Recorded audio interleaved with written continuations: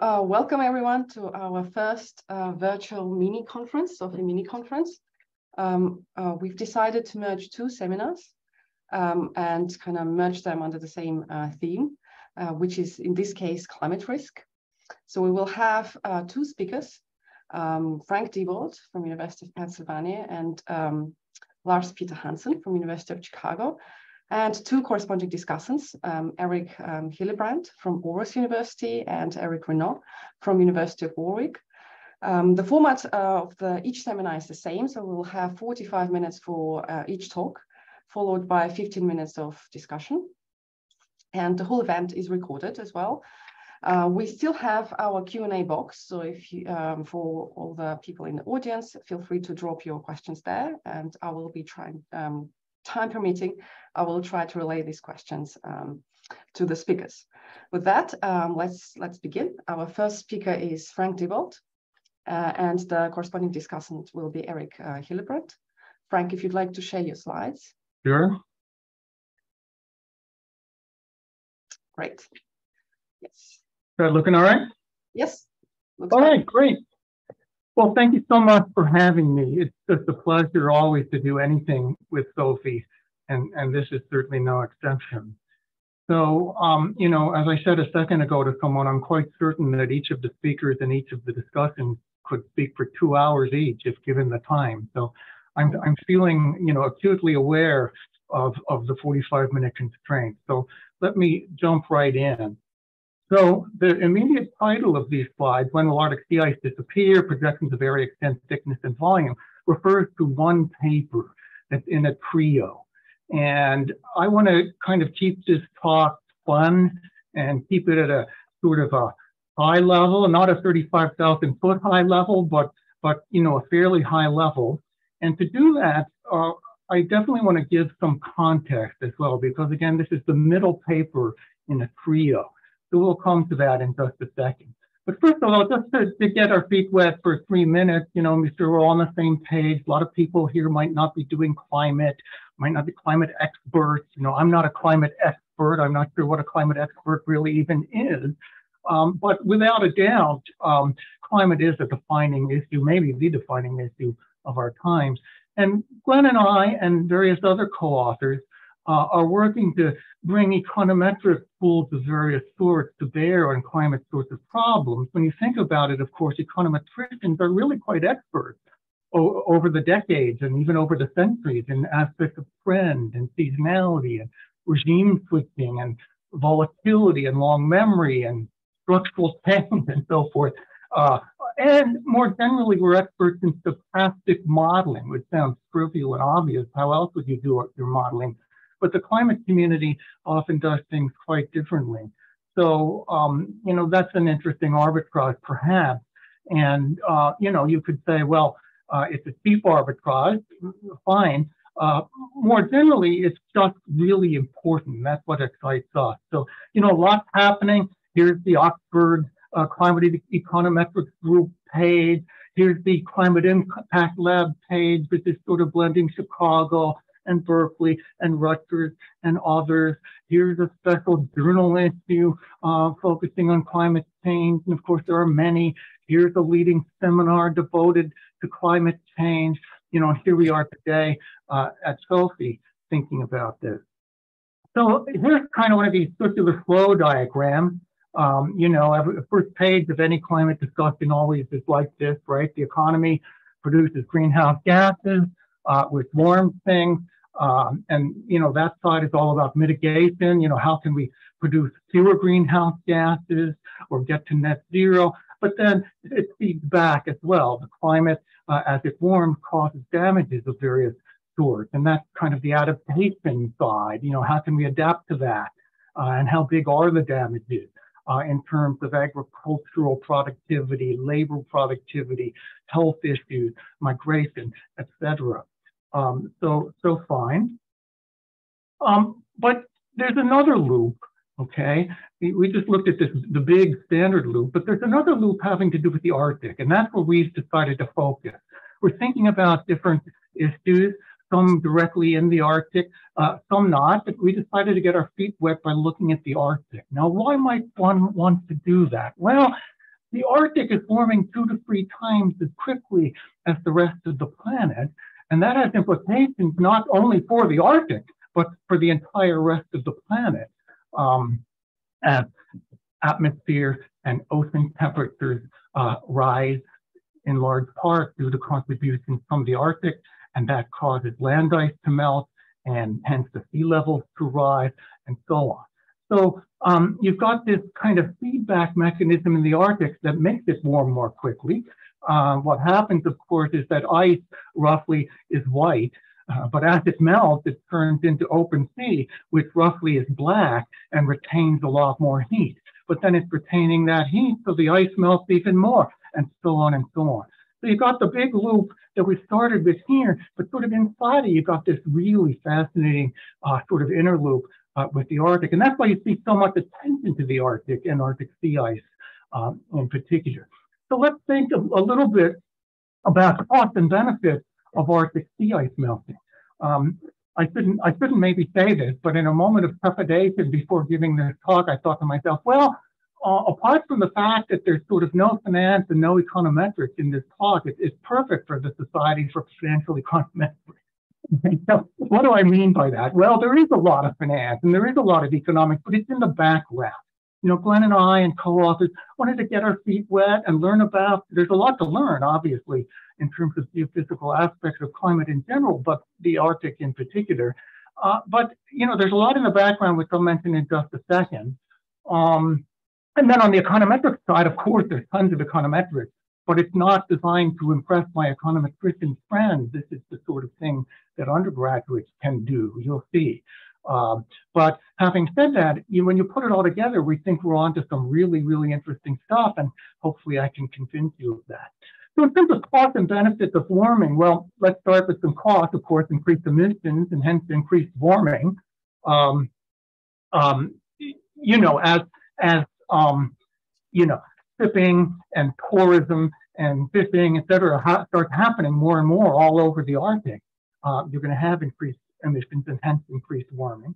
That's also going to lead potentially, uh, uh, not just potentially, but surely to uh, increased particulate pollution, uh, discharges, soot deposits, maybe spills, you know, so there's, there's lots of environmental consequences on the negative side. On the other side, on possibly on the upside, it depends on how you look at it, uh, but, you know, newly accessible deposits of uh, natural gas, petroleum, and other fossil fuels, fuels. You might say, oh my God, that's, that's a benefit, but it depends who you are and how you're thinking about this. Um, but perhaps most importantly, the emergence of transarctic shipping lanes uh, is actually a really big deal. Uh, for example, kind of the, uh, the, the standard example is like um, Rotterdam to Tokyo. The shipping time as you go transarctic, rather than down through the Suez Canal and around, is going to be cut in half. The cost is going to be cut in half. That's a big deal for global trade, and global trade is, is a big deal, obviously. Uh, not only will the shipping time be less, but it'll be cheaper in terms of less piracy. But when you have to go through the Suez Canal and down the Red Sea and so forth, you go through a lot of choke points where pirates can hang out and, and, and get you. So uh, there's a lot of stuff that goes on. But you can see, you know, lurking in the background here of the Arctic is all sorts of fascinating economic and geopolitical aspects. Who controls the sea lanes? What is a sea lane, etc. Mm. So some questions. How, how quickly and with what patterns is Arctic sea ice decreasing? When will the Arctic first be ice free? And what does that actually mean? What kind of concept of ice free do we want? Um, how do econometric, kind of reduced form statistical econometric um, projections compare to structural climate model projections? Um, and more constructively or, or constructively, uh, how can econometric, reduced form econometric methods potentially complement and enhance uh, structural climate science? So those are sorts of things on the econometric side that we have in mind. And again, the underlying economic issues are the things having to do with global trade and the Arctic economy and so on. So here's the trilogy of papers that I was mentioning. So Glenn and I did a, a first paper. I'm going to tell you a little bit about it because it's necessary to just see what's going on. They all hang together okay, uh, listed there as number one. You can read the, the title for yourself. So we'll, we'll talk about that for a few minutes. But then I'm going to emphasize paper two.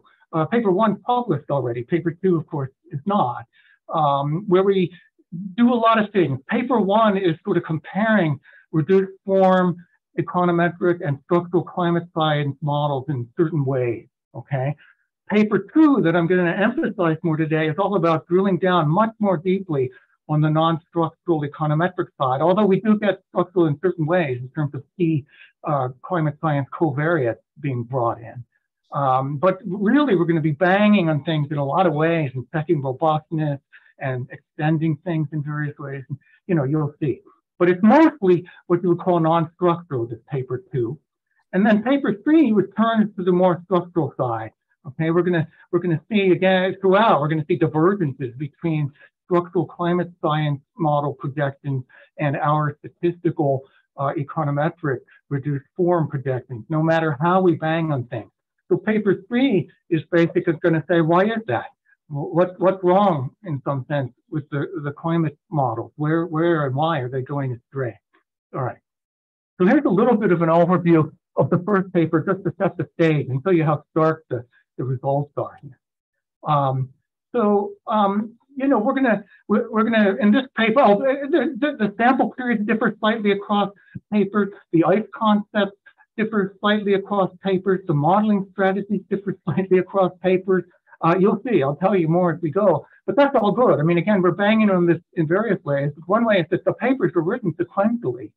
So, you know, of course, time goes on as you go through them and samples change and all that. But again, the results are, are, are very robust. So anyway, in this paper, we've got monthly data, um, monthly uh, sea ice. We'll define that formally in a second if you don't know what it is. Uh, for the whole satellite era, which starts at the end of 78 and goes to the present. At the time this paper was written, the present was roughly the end of 2019.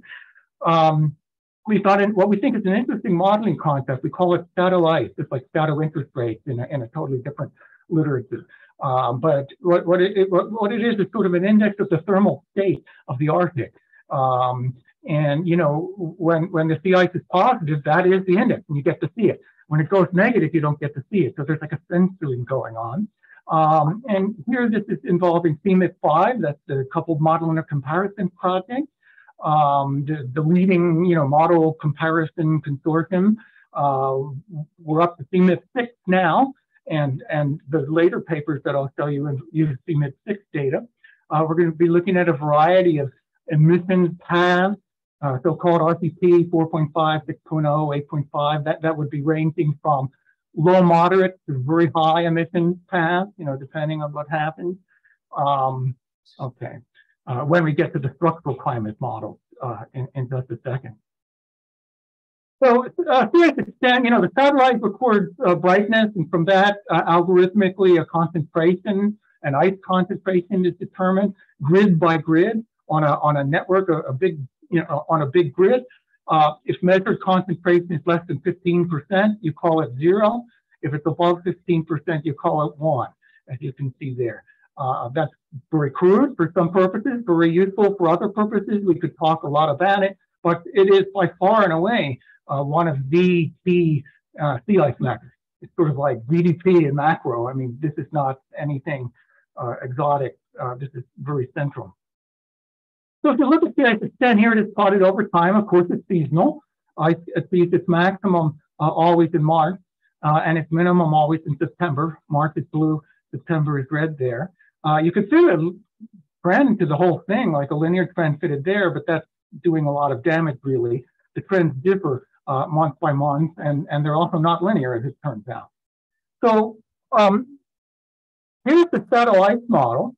So the way it, all this is it says, well, look, um, there's this thing, ice, called SIE star, and you know, it, it, it's in this setup, it's just a pure polynomial quadratic uh, trend Turns out you need the quadratic terms. You just look in the paper for the details, and there are a lot of details. But you know, satellite is evolving. Just just a trend. Your trend model here. The disturbance turns out to be a little bit clearly correlated, uh, but that's really all you need. But then you don't get to see uh, satellite, shadow sea ice extent. Um, you see it when it's when it's positive, right? And you see a zero otherwise. So it can just plunge below zero, and it goes way below zero, that's saying that the thermal state of the Arctic is going way up. So, so that even if it got a lot colder, it'd still take a while for ice to form again, you know, that kind of stuff. This is gas, okay? Um, again, there's a lot more in the paper, of course, but uh, again, I'm going to keep this at a high level. Um, so here we've got September sea ice extent. The black is history uh, at the time this paper was written. The red, uh, you know, inside the black is, is the in-sample fit uh, to a quadratic polynomial. And, and outside uh, the sample, you have the extrapolation of the polynomial. Uh, we've also got confidence bands here. That's another thing. Across the papers, we do the confidence bands in a lot of different ways. These are done with, uh, you know, like Johnston style um, assumptions uh, with deterministic regressors, which is right here. We've got polynomial trends, uh, assuming Gaussian shocks, which is actually quite accurate, believe it or not, uh, here. Uh, in other papers, they're done with bootstrap, sometimes parametric bootstrap, sometimes non-parametric bootstrap. So there's a lot, and things are very robust with respect to the intervals as well. And you should be skeptical of any interval that you ever see by anyone in this literature, right? When you think what's going on in climate and the geophysics that we don't understand, and then also the human behavior that, that's just not, not clear. I mean, you know, you should be skeptical. Um, in fact, you know, Lars might even say, I don't want to put any words in his mouth, but he, you might even say that it's, it's not obvious that this is even risk. You know, it might be more Knightian uncertainty. Um, but, you know, so, so be skeptical of confidence intervals, but at any rate, I'd rather have them than not have them. But you see how quickly, um, you know, the ice is projected to decay by the early 2040s here. Um, you know, uh, shadow ice is project, projected to cut through zero. Here, now superimposed on that same picture are the climate model projections. So these are the average projections, okay, across 30 some uh, CMIP 5 climate models under the four emission scenarios, okay, uh, medium, medium heavy, and, me and heavy. And you can see that no matter what you do, they're just decaying much, much more slowly, kind of end of the century a lot of people, myself included, would say, well, zero ice is not interesting. It may never get to zero. People talk about a near ice-free Arctic, which is much more compelling. Usually people use a million square kilometers. But you can see, you know, we're projecting that to happen around 2040. Uh, the others, depending on the severity of the emissions assumed, are much, much later. And, um, you know, it's just a wild diversion. The way CMIP 5 works is these take off a little earlier than our, our forecast does, but even if we restrict our sample so that it ends here in about 2010, you get the same projection for us.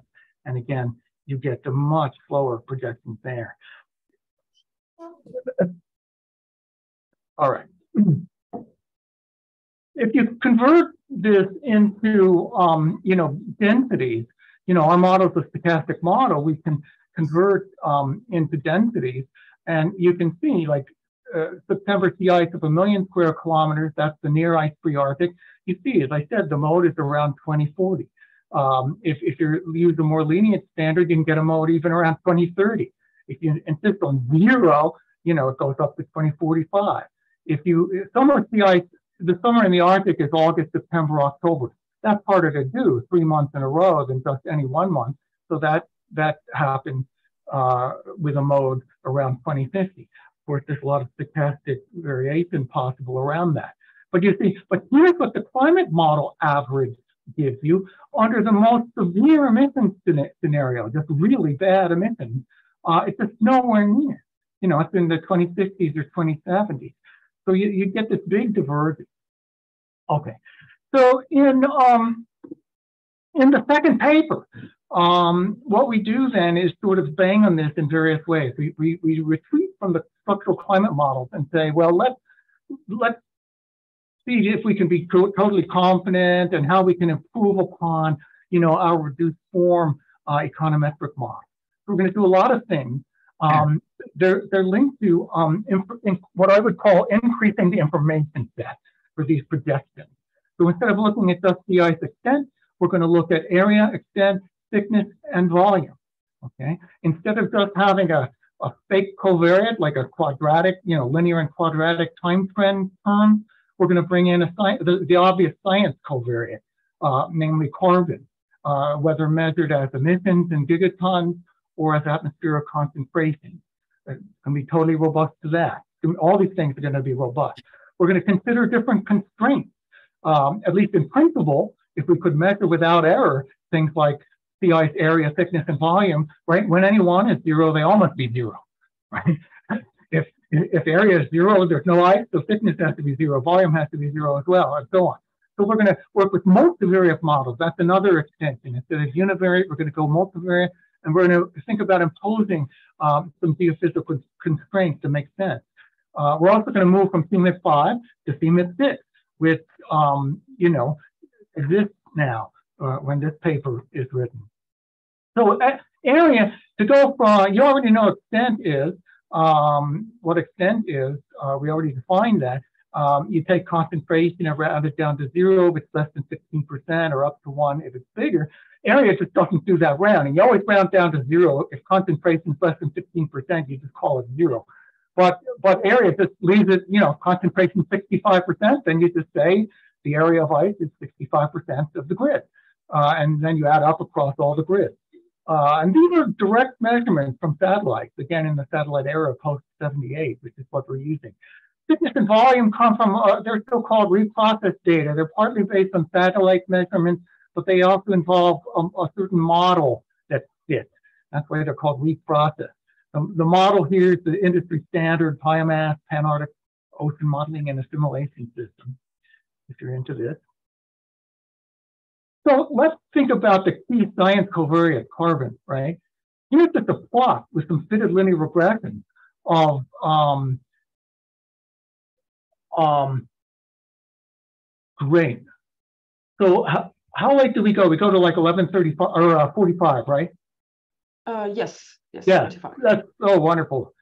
For some reason, I'm thinking I only had to 1130, um, uh, which is great. Um, so, um, okay, so here they have plotted out. Of course, September is what everybody focuses on because, uh, again, sea ice uh, achieves its, its minimum every September. And, you know, when is the Arctic going to be ice free or nearly ice free? That's, that's a big question. So it's really all about September ice. And if you, if you think about our ice model here, let me just pop back to it. You see it's a quadratic time trend models, but with dummies for each month. So it's really like 12 different quadratic time trends, one for each month. The only thing is that they're unified by the little uh, AR1 disturbance, you know. So if, if, if August has unusually much ice, well, then September is likely to as well. But other than that little bit of month-to-month zero correlation, it's just like 12 separate quadratic trends. So really what we wind up doing in the next paper here, and what most people do, is just to say, uh, well, let's just pull out all the September. Uh, and so that's what I've plotted here, okay? September Arctic sea ice, uh, again, um, cumulative um, CO2 emissions in gigatons. Um, you get the exact same picture if I were to look at atmospheric concentration, which will come actually a little later. But um, if you care, I, I also put marks, again, remarkably linear and tight fit. If you care about the whole annual average, here it is, also super tight, because it's an average, you know, so you reduce the variance a bit. But it's really quite remarkable how linear this is. People talk about this in the geophysical climate literature. It's not completely understood why it's linear, but uh, it's really quite remarkable, right? And you might say, well, wait a minute. A second ago, you were telling us about quadratic trend. What, what do you mean? Now you're talking about linear. Well, this is a linear in carbon in emissions. Okay. Before we were just looking at polynomial trends, you know, time, just time, like business as usual kinds of thing. And when you think about it, and I'll show you this, these linear trends are possibly completely coherent with the nonlinear quadratic time trends I showed you earlier. Why? Because carbon has been, at least historically, increasing at an increasing rate, right? Which means the Arctic, the temperature has been increasing at an increasing rate, which means the ice is, is going to be dropping at an increasing rate. And that's what we found in time just a second ago. So at least potentially, and you'll see in practice, it is definitely true. These linear trends in carbon are completely consistent with the nonlinear time trend that I was showing you a second ago. So let's sort of get to that. Let's go bivariate though. And, and what we do here, we always, we're in, in this paper, we, we're kind of mostly interested in area. We, we switch from extent to area. No big reason, but people look at both. And um, again, we're going to be looking at area, extent, thickness, and volume, but we're going to anchor things on area. I'm going to say, well, what if we blend area with extent? What if we blend area with thickness? What if we blend area with volume? You know, so we're going to look at bivariate model. Okay, so it's always area here in the middle, uh, but blended with some other variable x, where x might be extent, thickness, or volume. And then we're going to impose the constraint, though, that at least in principle, when when any one hits zero, the other the other has to hit zero as well. So, um, so going to impose that on the bivariate system, um, which of course we couldn't impose on a on a univariate system. You can see sometimes that matters, sometimes it doesn't. You know, here for example, our area and extent. You see an unrestricted bivariate fit there in the upper left. They're not, uh, you know, achieving um, uh, zero ice uh, or near ice free at anything like the same time. When we impose the constraint, of course, by constructing, they do, but it changes the fit a little bit, changes the slope of the fit. Uh, other things like here's area and thickness, it happens that without imposing the constraint there, they're, they're still hitting zero at about the same time anyway. So imposing it doesn't change anything. So it, it depends on what you're looking at, but um, you know, it can matter and it often does. Here are the uh, so-called SSP uh, scenarios. Um, you know, a, a, high and a and a medium and a low, if you will. Or you might say a very high and a medium and a medium low, but whatever. Standard scenarios that, that people look at. Uh, don't worry about these dashed lines right now. I'll come back to them uh, maybe a bit later. But you know, these are the standard scenarios that people use to think about warming. Like, what if what if emissions as we go through the century or out to 2065 say, follow this bottom path or the middle path or the top high emissions path, um, that sort of thing. Well, you notice what we get from the carbon models, the carbon trend models here, right? We, we, we can see what um, cumulative emissions are uh, at zero ice, which means we can then go through a, a, a figure like this, go over here on the left, and um, see, you know, wherever we need to go for, for emissions at zero ice, go over um, to the SSP curve and then go down to the year. You know, so we just run, we can just run the, the emissions at, at zero ice through the inverse of whatever SSP scenario we, we want and read off the corresponding year in terms of when that going to happen. Okay. And, you know, if you do that, in other words, if we take these linear carbon trends, you know, these kind of linear things, very clearly linear, uh, and run them through the inverse SSP scenarios here, we can infer the corresponding time trends. And you see they look exactly like the kinds of things we got when we fit quadratics directly to um, sea ice in the earlier case extent, um, but to sea ice uh, in time. And again, we can do that, um, you know, in the constrained world or, or, the unconstrained world, like here, we're imposing um, the um, equal timing constraint here, uh, or again, down here, it doesn't matter much. But again, what do you see? We've done things very differently now. It's not a quadratic time trend or anything like that. We, we brought in carbon. And if I were to show you atmospheric concentration, it's exactly the same sorts of results. We've been looking at emissions, uh, cumulative emissions.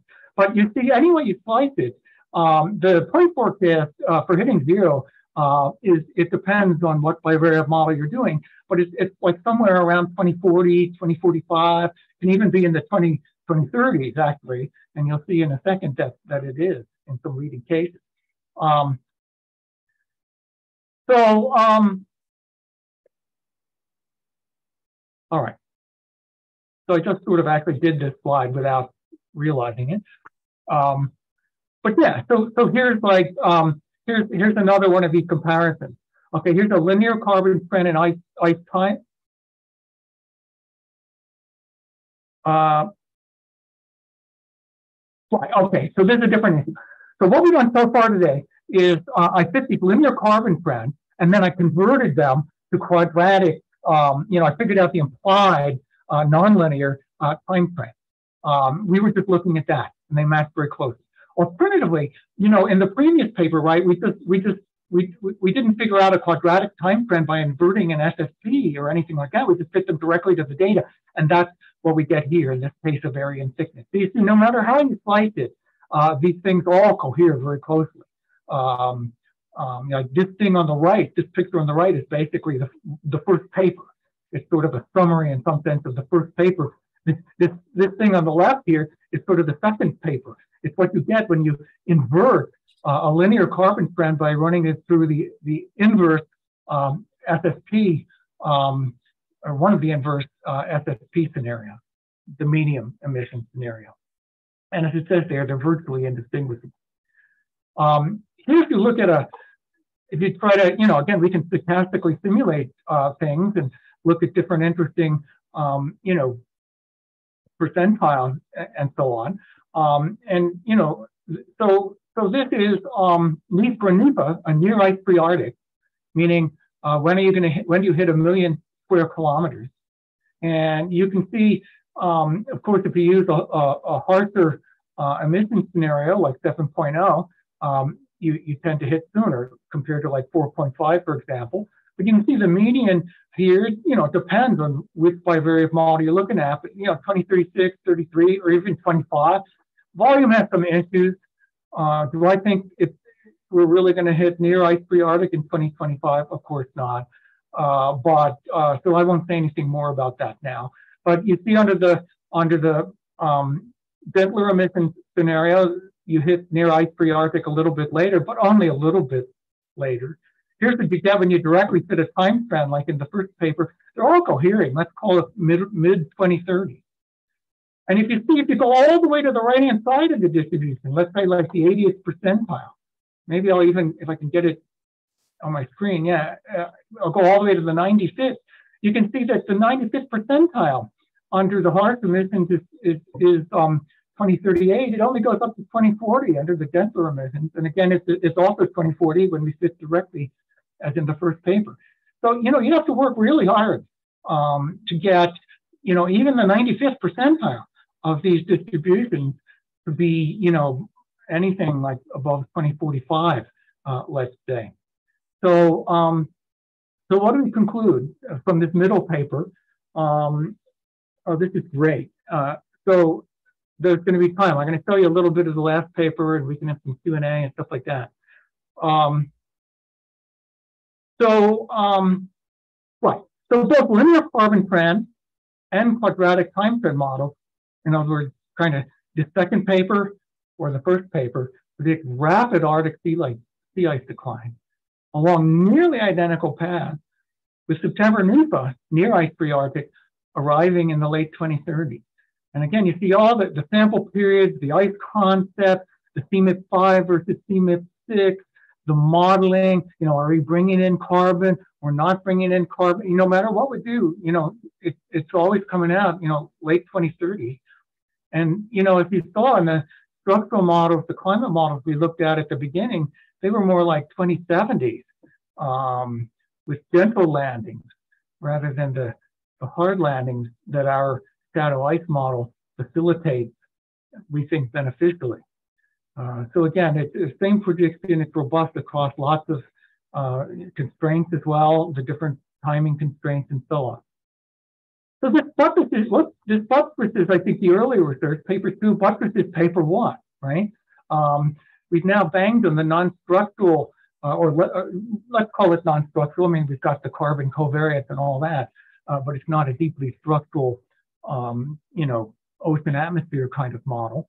Um, uh, and and and we feel even more confident than ever uh, in those projections. So with buttresses the early research, um, and you know, it's going to facilitate new research, and I want to tell you a little bit about that right now, in the sense that, uh, you know, so okay, it really does look like there's something going on in the climate model that makes them not, um, um, you know, get to zero ice uh, quickly enough. Now, there is a little sort of damned if you do and damned if you don't for this. When, you know, a year or two ago, when I first talked to climate people about this, uh, they would say, you're crazy. You know, there's no way in 2040. The models don't say, they say 2070. And I would say, well, yeah, I mean, the models may say that, your models do, but, you know, uh, our models definitely don't. And, um, and now I say that, to, I say, uh, you know, it's going to be 2040 or so. And they say, well, you know, of course, everybody knows that. You know, tell me something I don't know. Uh, so, so, so, things are changing, and I want to show you a bit how things are changing, uh, but more generally, how, how this modeling may lead us to places where we can say constructive things, uh, or at least push things back a stage or two um, towards constructive things um, for the climate model. So that brings us then uh, to this part three and paper three, uh, illuminating model-based projection failures via the carbon sensitivity of ice. So again, in terms of this trio that I started with, um, you know, we talked about paper one, we've now talked about paper two, uh, and now I want to talk just, just very, very briefly uh, about paper three, more to sort of whet your appetite, um, but, you know, let me do that.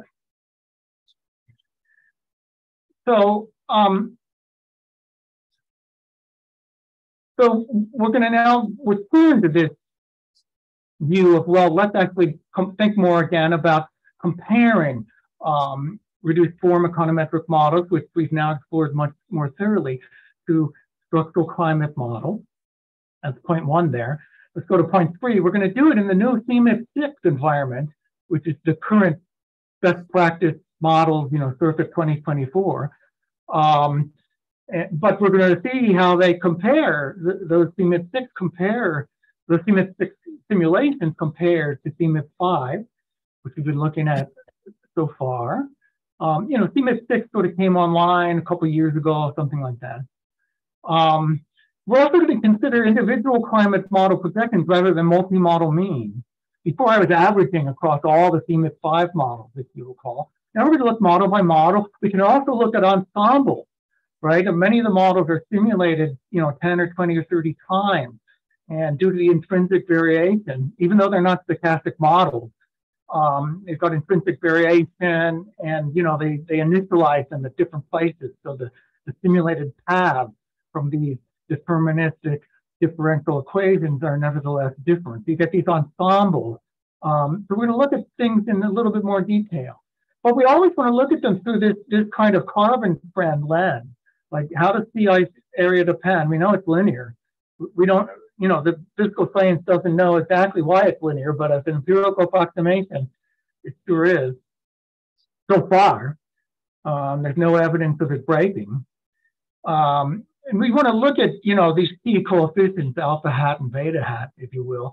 And of course, the really key coefficient is beta. You know, how sensitive is the ice area to carbon?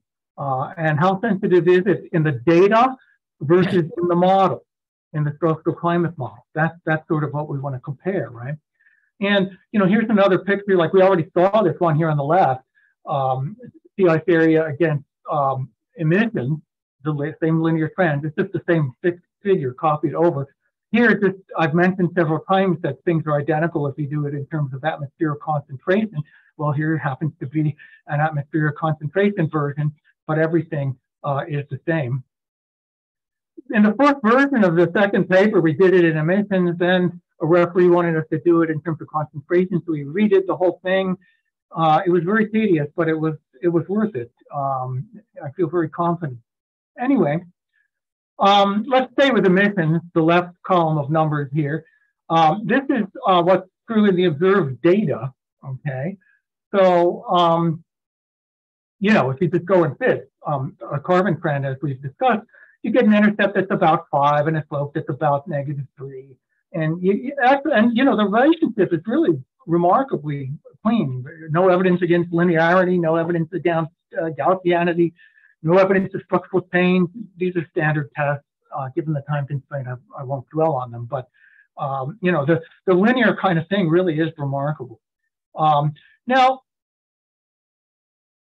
now this is this is what's true in the data. Here's a graph of the data. Here's the regression summarizing the data. Um, this is what's true in terms of um, the first run, you know, a single run of each of the 37 CMIP5 models. Okay, so what's true in the data is red. All right, that's that's what we're looking at here. The intercept is about five, the slope is about negative three, right? So here it is. The slope is about negative three, the intercept is about five. But any point here is one of the 37 CMIP 5 models. And you can see they're not looking so close, are they? In particular, all the interceptors, the vast majority of the interceptors, too large, and, and more interestingly, perhaps, all the slopes uh, are too small in absolute value, right? You want something down around negative three, they tend to be down around negative two or negative 1.8. Um, like there, there's really nothing in this inside the red box there, right? Um, so you see that things are, are kind of really going off. Um, the models aren't sensitive enough to carbon. You know, sea ice area in the model uh, tends not to be sensitive enough to emissions. Um, and, and that's why, as emissions go up, the models uh, don't predict sea ice area dropping enough. Of course, they predict it to drop, uh, but not enough uh, typically. Um, here's the same pictures for models, but now they're the 29 CMIP 6 model. And you see they look a little better, but they're still not looking great. Most of the models have, um, you know, still have a, a slope reflecting insufficient carbon sensitivity. And most of the models still have intercepts uh, that are too big as well. As well. Here are some individual models. So this happens to be, you know, CanESM2. That's a certain Canadian model, very famous, very distinguished. But and these are all at different runs. Uh, you know, so whole ensemble uh, for CMIP 5, and then there are a lot more runs done uh, recently for CMIP 6. Uh, and you see what's true in the data. Again, that's the same thing we've been looking at all along, the, the same red. But you can see the Canadian model happened to have an intercept intercept that was too small actually, actually um, in in CMIP five, uh, and slopes in fact were, were too small. They they kind of overcompensated in CMIP six. The models got intercepts too big, and and the slopes are, are maybe a little bit a little bigger too. You know, but you know. Uh, the point is, um, 5 doesn't look very good there, and neither does CMIP 6. you know, there's what's true. It's a different model, doesn't matter what it is, but you can see as it went from five to six, um, uh, what happened to it. Uh, here's another model as you go from CMIP five to six, it's, it's moving leftward, uh, but but still, um, well, that's not so bad. Actually, the data is not so bad. But you see, it's just a motley assortment of things. It all depends on the model, you know. It all depends on the model. Uh, some models perhaps randomly, some or not randomly, but they, they, they get a lot better, a few. Uh, most don't. And, the way in which they don't differs a lot over models, as you can see when you just sort of look at uh, points like this, comparing the different model ensembles to the data in CMIP 5 versus 6. If you average across all the models, um, here it is, right? So if you look at the median beta hat uh, in the model, if you take every ensemble run of every model and you do it in CMIP 5 on the first line versus CMIP 6 on the second line here, uh, take the medium of that divergence between the model beta hat and the data beta hat, uh, it, it's, it's really no different in five or six. In fact, it's a little bit worse uh, in six. A big, the way it's set up, right? A bigger number means uh, the bigger the number here is, it means the more carbon insensitivity you have. You know, so think a little bit worse in terms of the models not being sensitive enough in six versus five. Uh, certainly relative to those standard deviations, you might say, you know, there's really no change. Let's put it that way. Um, so that just to wrap up, it looks like we're 45 minutes in. Um, you know, I hope that putting these three papers together and doing it at a kind of, you know, mile high viewpoint was good. Um, you know, we could have gone the other way and taken a deep dive to, into any one paper, but you see how they fit together and you how you see how they all are really different. The first first one does the preliminary models versus the data thing. The second paper then really dives much more deeply into the data, trying to get our handle on on things and crucially bringing in carbon uh, covariates. And then the third one goes back to comparing models to data, but through this lens of the carbon trend and and so-called um, carbon sensitivity, and and we sort of trace the uh, the weaknesses of the structural models to their being in, insufficiently sensitive um, to carbon movement. Um, so then uh, number five here, you know, the, the basic optimistic conclusion, I think, is that hopefully I've demonstrated some aspects in which econometric models can com complement and help us to learn about the strengths as well as the weaknesses of structural climate models. Um, they can patch things up in the short run, kind of a, a buttress for theoretical weaknesses. Um, they can be a benchmark for climate model calibration, as we've seen in various ways. Uh, they can help us to think about climate model selection, kind of a filter for model selection, and um, an, an, avenue for, for introducing probabilistic projections. Um, it's very easy through stochastic simulations. You can put easy in quotes. Again, you know, you have to take everything in climate um, skeptically. I mean, there's there's so much uncertainty. Um, but but again, econometricians do know uh, a lot about probabilistic projections, and I, I, hope I've illustrated how our probabilistic thinking um, can can be helpful in that regard. So, thank you. Thank you very much, Frank. Um, there are currently no questions from the audience, so we can naturally move to the um, discussion. Eric, if you'd like to share your slides. Yes, sure. Frank, can you uh, unshare your slides? Oh, sorry. No worries. Can you see my slides? Yes. Great. Perfect. Yeah, well, thanks so much for having me on the program uh, and for inviting me to discuss these uh, interesting papers by uh, Frank and co-authors. Um, so just a, quickly, one thing I want to highlight. This is really, I mean, with the with Frank's forecast, he has he has skin in the game, right? Because I mean, by the end of the of 2030, we're going to see who's right, right? So, um, uh, obviously, I hope Frank is wrong, but he may just be right. Uh, so here are two comparisons to uh, um, uh, uh, to to what has been published in the IPCC report. So the middle uh, panel here is what the special report on uh, the ocean and the cryosphere in 2019 said.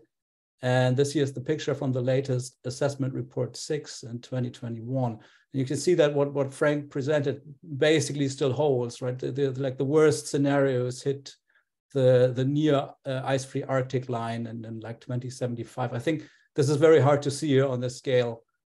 I think it has actually come up a bit, but, but not by a whole lot. So in this discussion, I want to uh, uh, uh, focus on, on basically on two key aspects of, of the work that we've just seen. The one is the, the linearity of the sea ice and atmospheric CO2 concentrations, and the other is the, um, the question of a quadratic trend for sea ice. Um, and uh, then I have uh, uh also, I'm going to make a brief remark about embedding this in a, a bigger carbon, carbon cycle system and some other few questions. So um, so, so the, the, one of the cornerstones as we've seen in, in, in Frank's analysis is here this the, the linear relation of sea ice, extent, area, thickness, volume, whatever uh, measure you want to use, and atmospheric CO2 concentrations. Where is this linearity coming from? Um, so the, the a, a very common way in climate science to, well, maybe not model this, but at least conceptualize this is to think about uh, basically a system of ordinary differential equations where, where you look at some, some uh, variables of, of matter and energy stores. So for example, here, it's the, uh, the, the stocks of sea ice and the stocks of uh, atmospheric carbon or cumulative uh, uh, emissions was also another variable Frank looked at and you have a um, uh, you have a forcing, which uh, uh here is just CO2. We're just talking about carbon here, but you could imagine other greenhouse gases, aerosols, other things that somehow drive the climate. And then you have some potentially uh, uh, nonlinear function that gives you the, the system response fluxes, how the system now reacts to, to these forcings.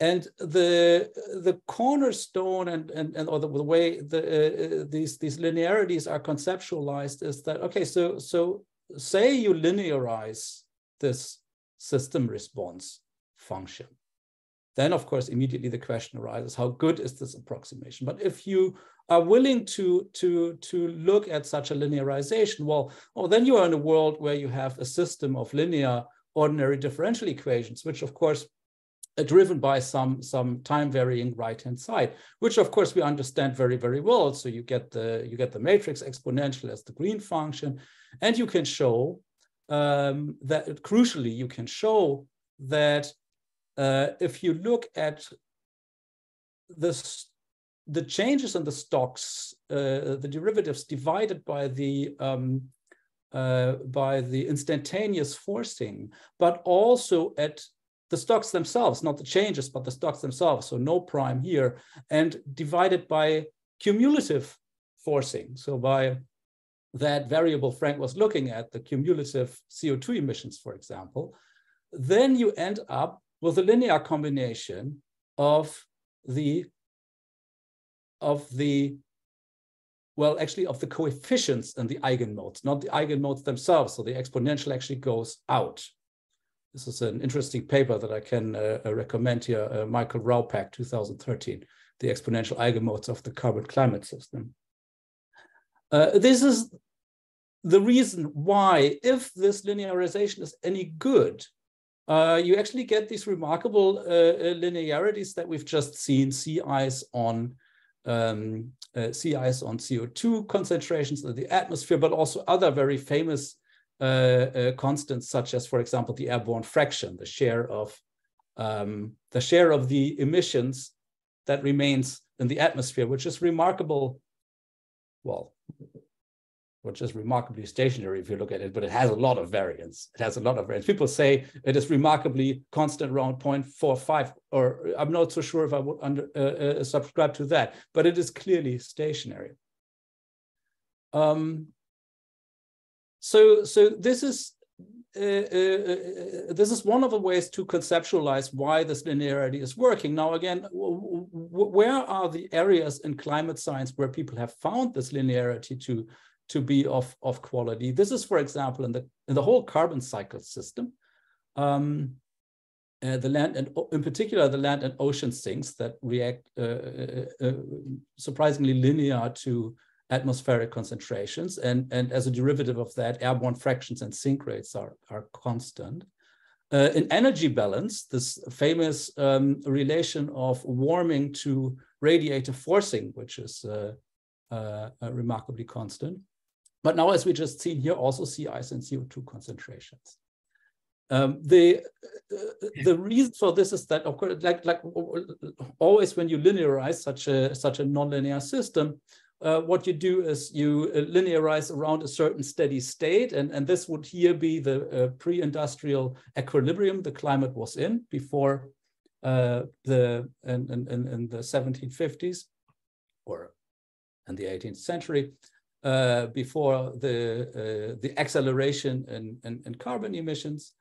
And uh, uh even though we have been emitting, uh, of course, substantially since then, uh, since the stock of atmospheric CO2 concentrations is, is, is, is big, it's 900 gigatons of carbon in the, in the air, um, it is changing relatively slowly. And we have been, so to speak, close enough to this pre-industrial equilibrium uh, that this uh, linear approximation was of sufficiently high quality. But uh, um, so this is essentially where, where the whole discussion about tipping points belongs, right? So tipping points you can think of as um, uh, as, as, as phenomena that climate science has identified where they expect the nonlinearity as we move away from the pre-industrial equilibrium to manifest itself first. And some of them are uh, uh, some of them are, are are material for Hollywood movies, and other of others are are much quieter and and no, uh, uh, uh but but but nevertheless nevertheless concerning. So one of those more quiet questions about nonlinearities is precisely this uptake of um, of carbon by by the land and ocean. So the question: Is there any saturation? Are the are the plants and the sea in some sense saturating and will in the not so distant future, the uptake of carbon uh, by the sinks be slower than linear. Um, Okay, so let's say that uh, we we accept this for the time being that the sea ice is is uh, uh, reasonably approximated as a linear function of the uh, uh, carbon concentrations in the atmosphere. I'm just writing them as C sub T. Excuse me, the uh, Frank's notation here was CO2C, but these are the atmospheric concentrations. So we have a linear function um, well, if you start from from like very much first principles, this is actually an exercise that I give my students in my in my math class. So if you think about the the the, the carbon system, uh, so we're, so so we're asking now what are the dynamics that are going on here, right? If you if you accept this uh, this linear function, what are the dynamics of the of atmospheric concentrations? Well, you get the you get the the forcing minus the sinks activity. And the sinks activity by the same token is linear in concentrations. Uh, no, well, so now you get precise, no, nowhere, nowhere scalar. So you get precisely such a, a, a differential equation that we were just looking at here in a system perspective, only now it's just a scalar thing, right? So we just solve this by, by variation of constants.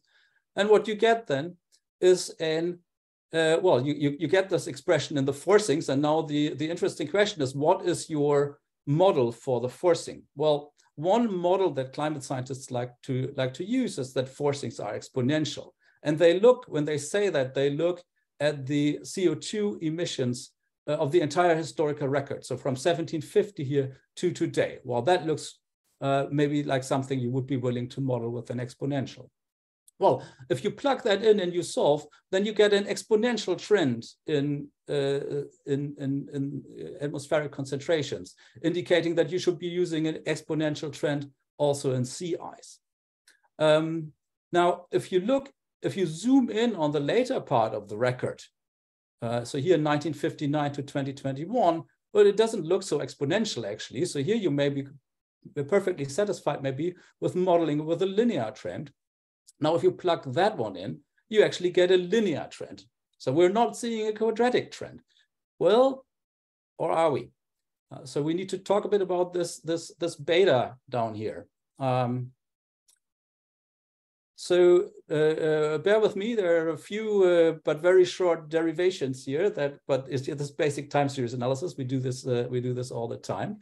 So if we say, now let's assume that the emissions are linear. So we write down a random walk with drift for, um, for emissions. Um, and now we're also adding a, a, a, random disturbance. So we attack the whole thing now a bit more econometrically and go away from the differential equations.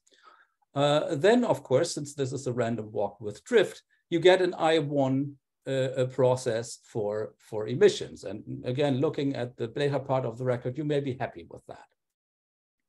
Now, the sinks, as said, are linear in concentrations, uh, and the change in concentrations is given by way of the global carbon budget by emissions minus sinks. What does not go down into the sinks must stay up in the atmosphere. Um, so now the, the, the linear uh, concentration, the linear sinks are, are subtracted. And now crucially, importantly, if you look at what is actually this linear, uh, this linear response of the sinks to concentrations, it's a very, very small coefficient, highly significantly different from zero, but not big.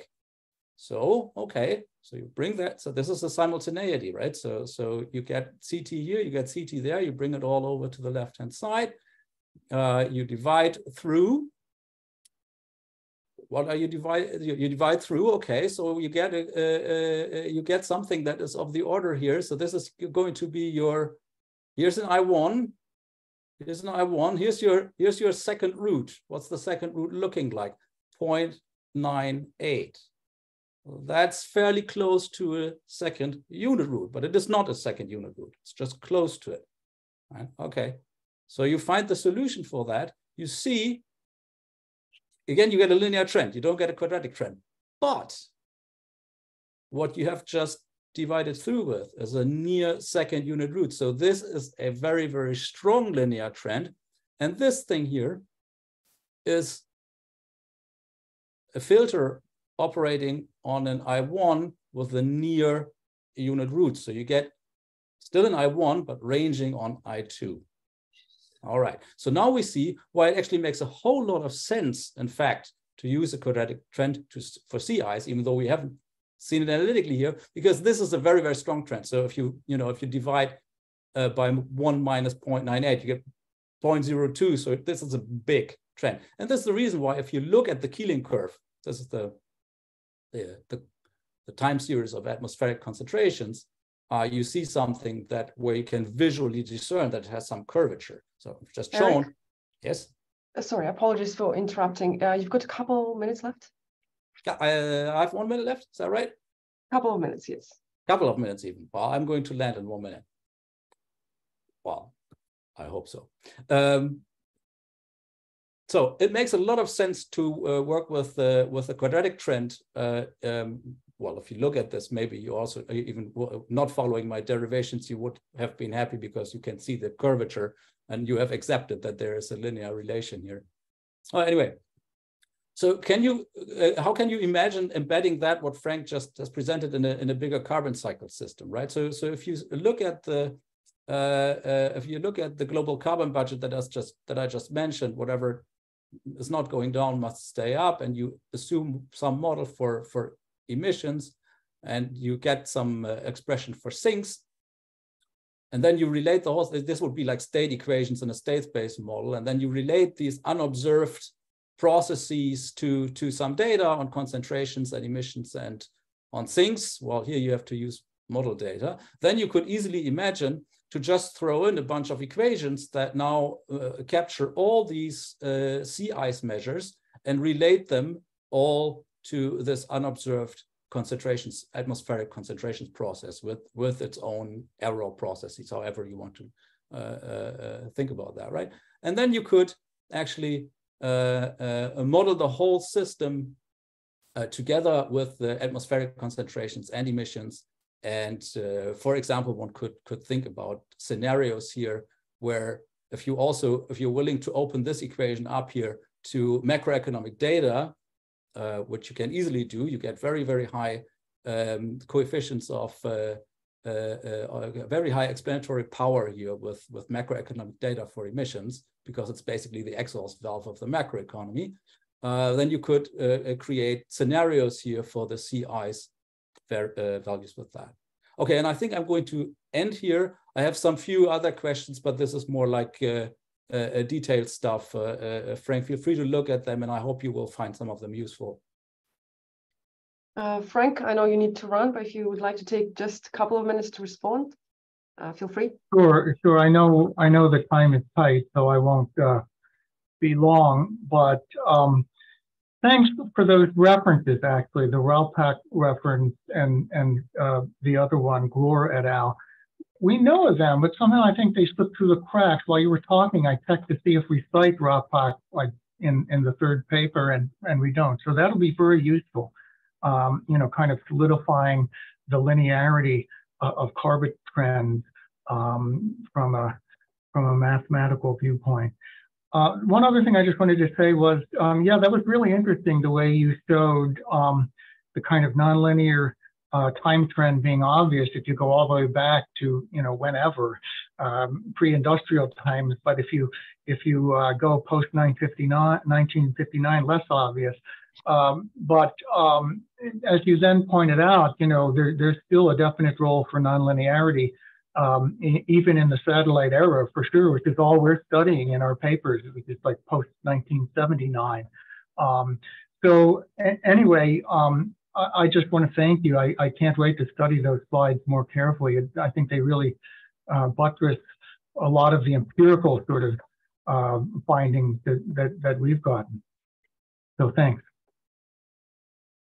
Um, thank you, Frank and Eric. Um, so it's time now to move to the second talk. Um, Lars, if you'd like to share your slides.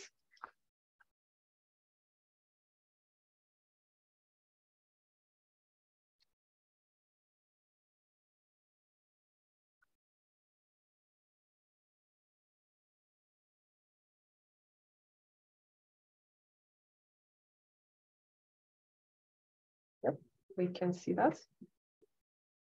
Um, great, so you have till 11.50 Okay, thank you. So um, thank you very much for this opportunity. It's a, it's a great chance for me to share some ideas. Uh, this is clearly kind of a research agenda as opposed to a single project, but I'm going to talk about it this that um, kind of where we stand and, and, in terms of some of our, some of our recent calculations. Um, so I have some important collaborators here, Mike Barnett, ASU, Buz Brock um, at, at, Wisconsin, and Hong Zhang at, uh, at Argonne National Labs. So how should climate change uncertainty impact social value, valuation and policy?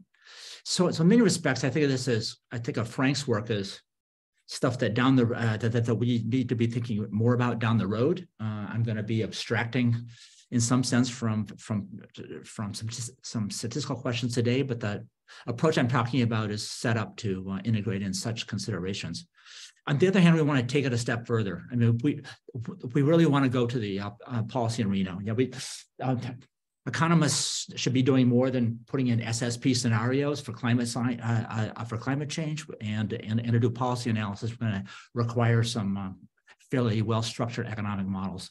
And and here's and, and so that's that, that's going to be one of the important sources of uncertainty, which I'm going to be talking about here. Let me just start here with um. Let's see. Uh, I could make my own quote based on revealed preference, but let me kind of reference a recent paper. The economic consequence of many of the complex risks associated with climate change cannot, however, be currently quantified. These unquantified, poorly understood, and awfully deeply uncertain risks should be included in economic valuations and decision-making processes. Um, so this, this sounds like almost an impossible task it's a challenging task, and and uh, and uh, and we're trying to go part way towards trying to address that.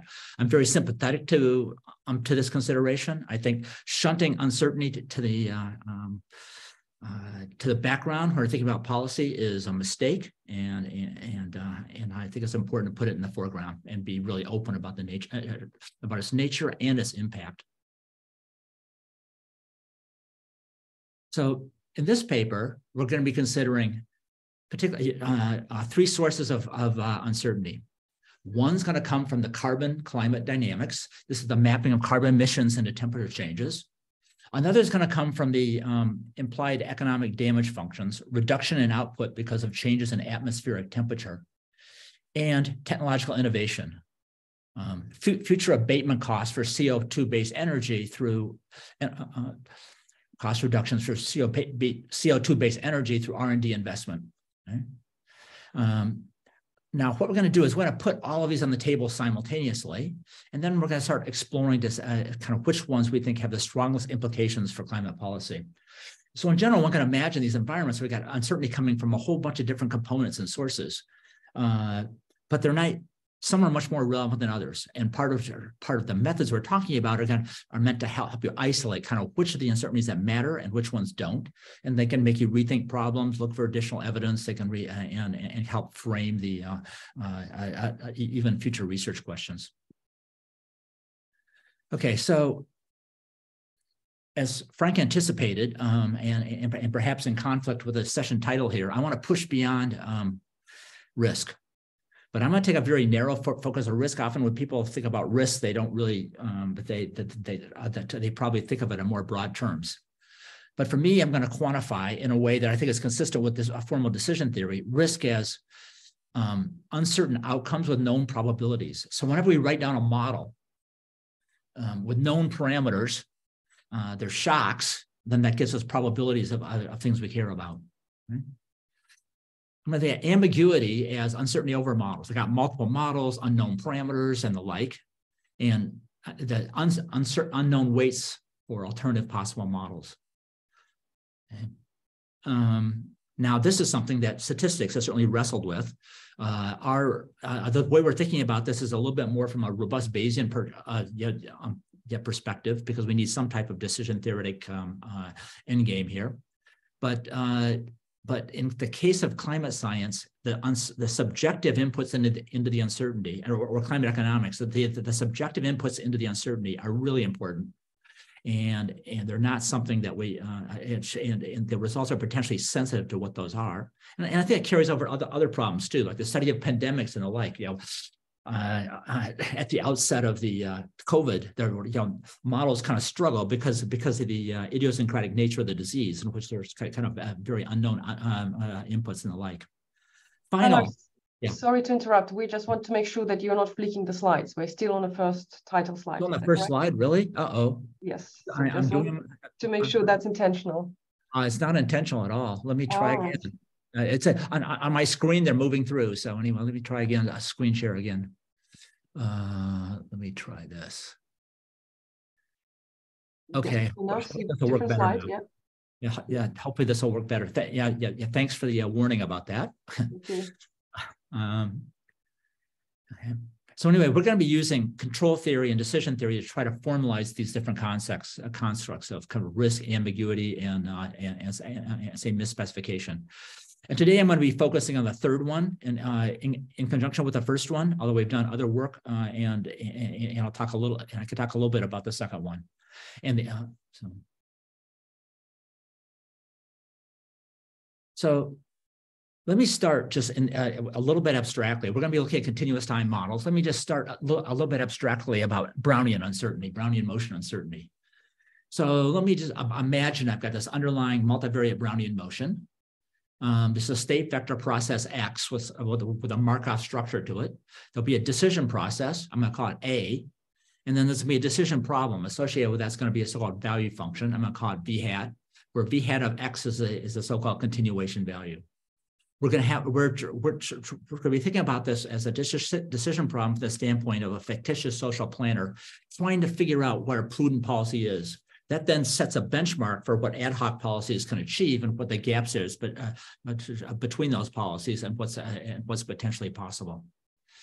Now, the state vector process, consistent with this Brownian information structure, is going to have a local mean increment. That's I'll just denote that, say, say mu of x of x xt, and that which can depend on the uh, decision process, and a stochastic increment uh, that, that, that, that there's a sigma x of x and a that kind of tell you how much you're going to weight the uh, Brownian increments.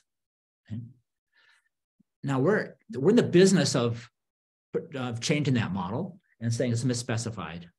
So we're going to borrow some well-known ideas from kind of continuous time mathematics, uh, and and in order to do that in a very uh, in a very tractable way. Imagine H. H is just some process here. Um, and, and, what it's going to do is it's going to be the same dimension as the Brownian motion, and it's going to induce a change in probability measure. So, so that uh, before the increment was this multivariate standard Brownian motion, under the change of measure, um, DW becomes a Brownian motion with drift. And this is this is kind of follows on, on, on the kind of Girsanov theory of, of um, associated with Brownian motions and martingales. Now, with this, we're going to be using a criterion called relative entropy, which is basically uh, Kullback-Leibler in, in, in, this context. And, and, and, the local contribution, because we're only changing drifts of Brownian motions or local means, uh, has this very simple structure to it. It's just going to be uh, you know, one half the, um, yeah, the norm squared of HT. So this is very special to Brownian motion, of course, you know, to, to, to say normal distributions and and and, uh, and just changing means. So this H process can do can be very history dependent. It can do lots of things but but uh, but locally, where this Girsanov theory leads us to think about the means. Okay, now I'm going to spare you the full Hamilton Jacobi Bellman equations, but there's going to be a HJB or Hamilton Jacobi Bellman equation in which that local, in which the local mean of the increment of, of the continuation values is is um, is going to be replaced by solving this problem. So this problem is going to take the kind of you know the, uh, the usual Ito formula. You take the partial derivative of the value function, uh, multiplied by the drift. But now what I've got is this additional drift coming into play, h. Okay, and that's going to be weighted by that you know, you know that coefficient that that um, that multiplies h. Then there's the kind of usual trace of the um, second derivative term with the covariance matrix attached to it. Okay. Now I'm going to be doing a conservative adjustment here. This is all a theory of ambiguity or of uncertainty aversion, which means uh, you know, just like risk aversion, it's a theory of kind of yeah, uh, should that induces some caution. So I'm going to be minimizing. I'm going to put a penalization on that uh, local contribution to relative entropy. That's the CR H prime H or, or to the kind of Kullback-Leibler divergence measure. And I'm going to put a penalty parameter C sub R, which we're going to have to talk more about going forward here. So what I'm going to do is in the, in the context of the decision problem, uh, recursively, I'm just going to replace the usual time, type of local evolution of continuation values with the solution of this problem. Now, jump uncertainty is going to also be important to us, and I'll kind of, kind of be explaining which you know, the key places where it's going to be uh, in, in just a few minutes. But I, I want to think about um, uh, the jump processes you want to specify in terms of two things. One is a state-dependent jump intensity, this kind of script I, and then a jump distribution. So let's suppose that jump distribution is discrete, uh, um, and, and and so it's going to you know pi of L given X tells you the uh, um, kind of the probabilities of jumping to these different locations, um, conditioned on where you are today.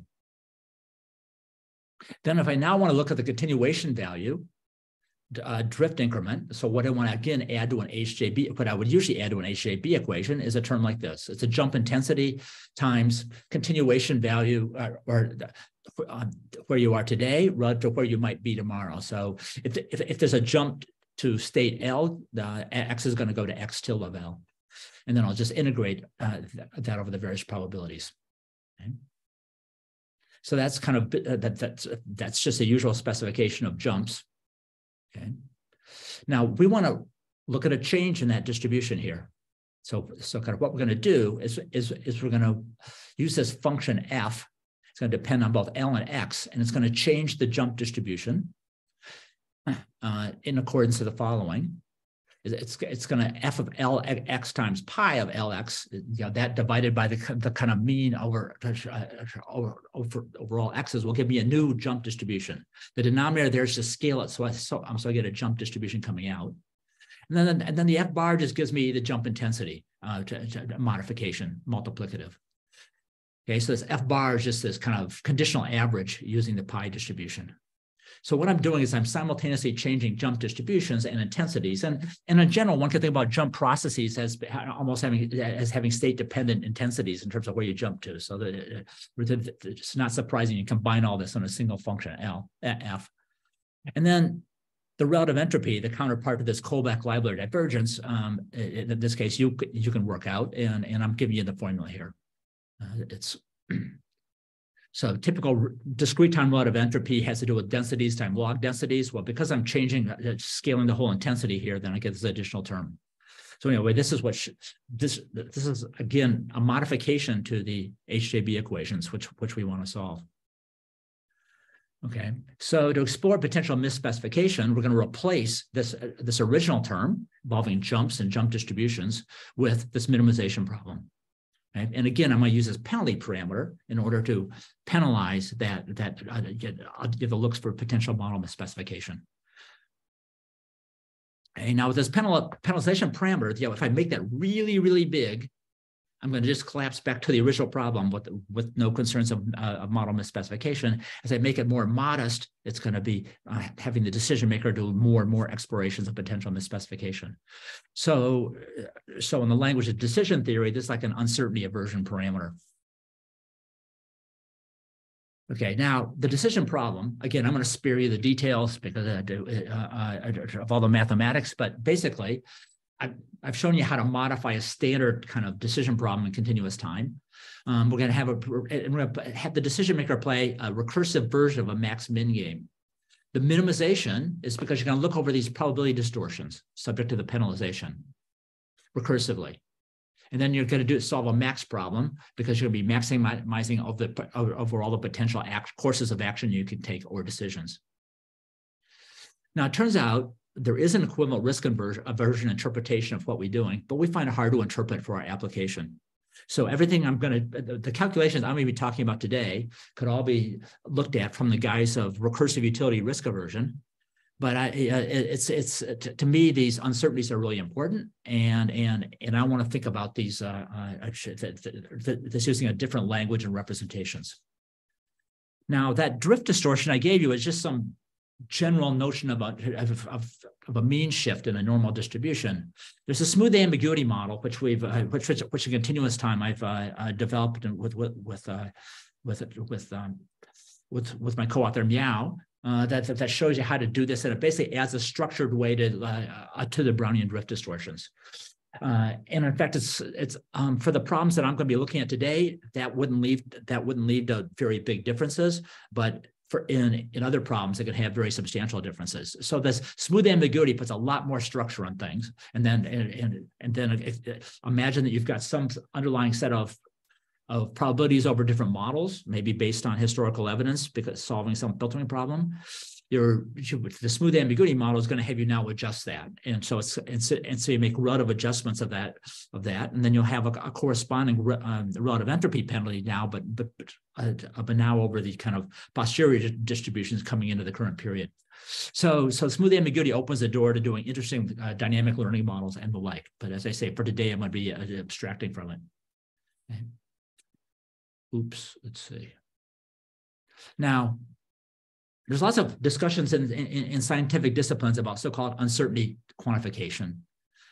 Now, now, now we're going to do a twist on uncertainty uh, uh, quantification and, and, and, add on a decomposition. Okay.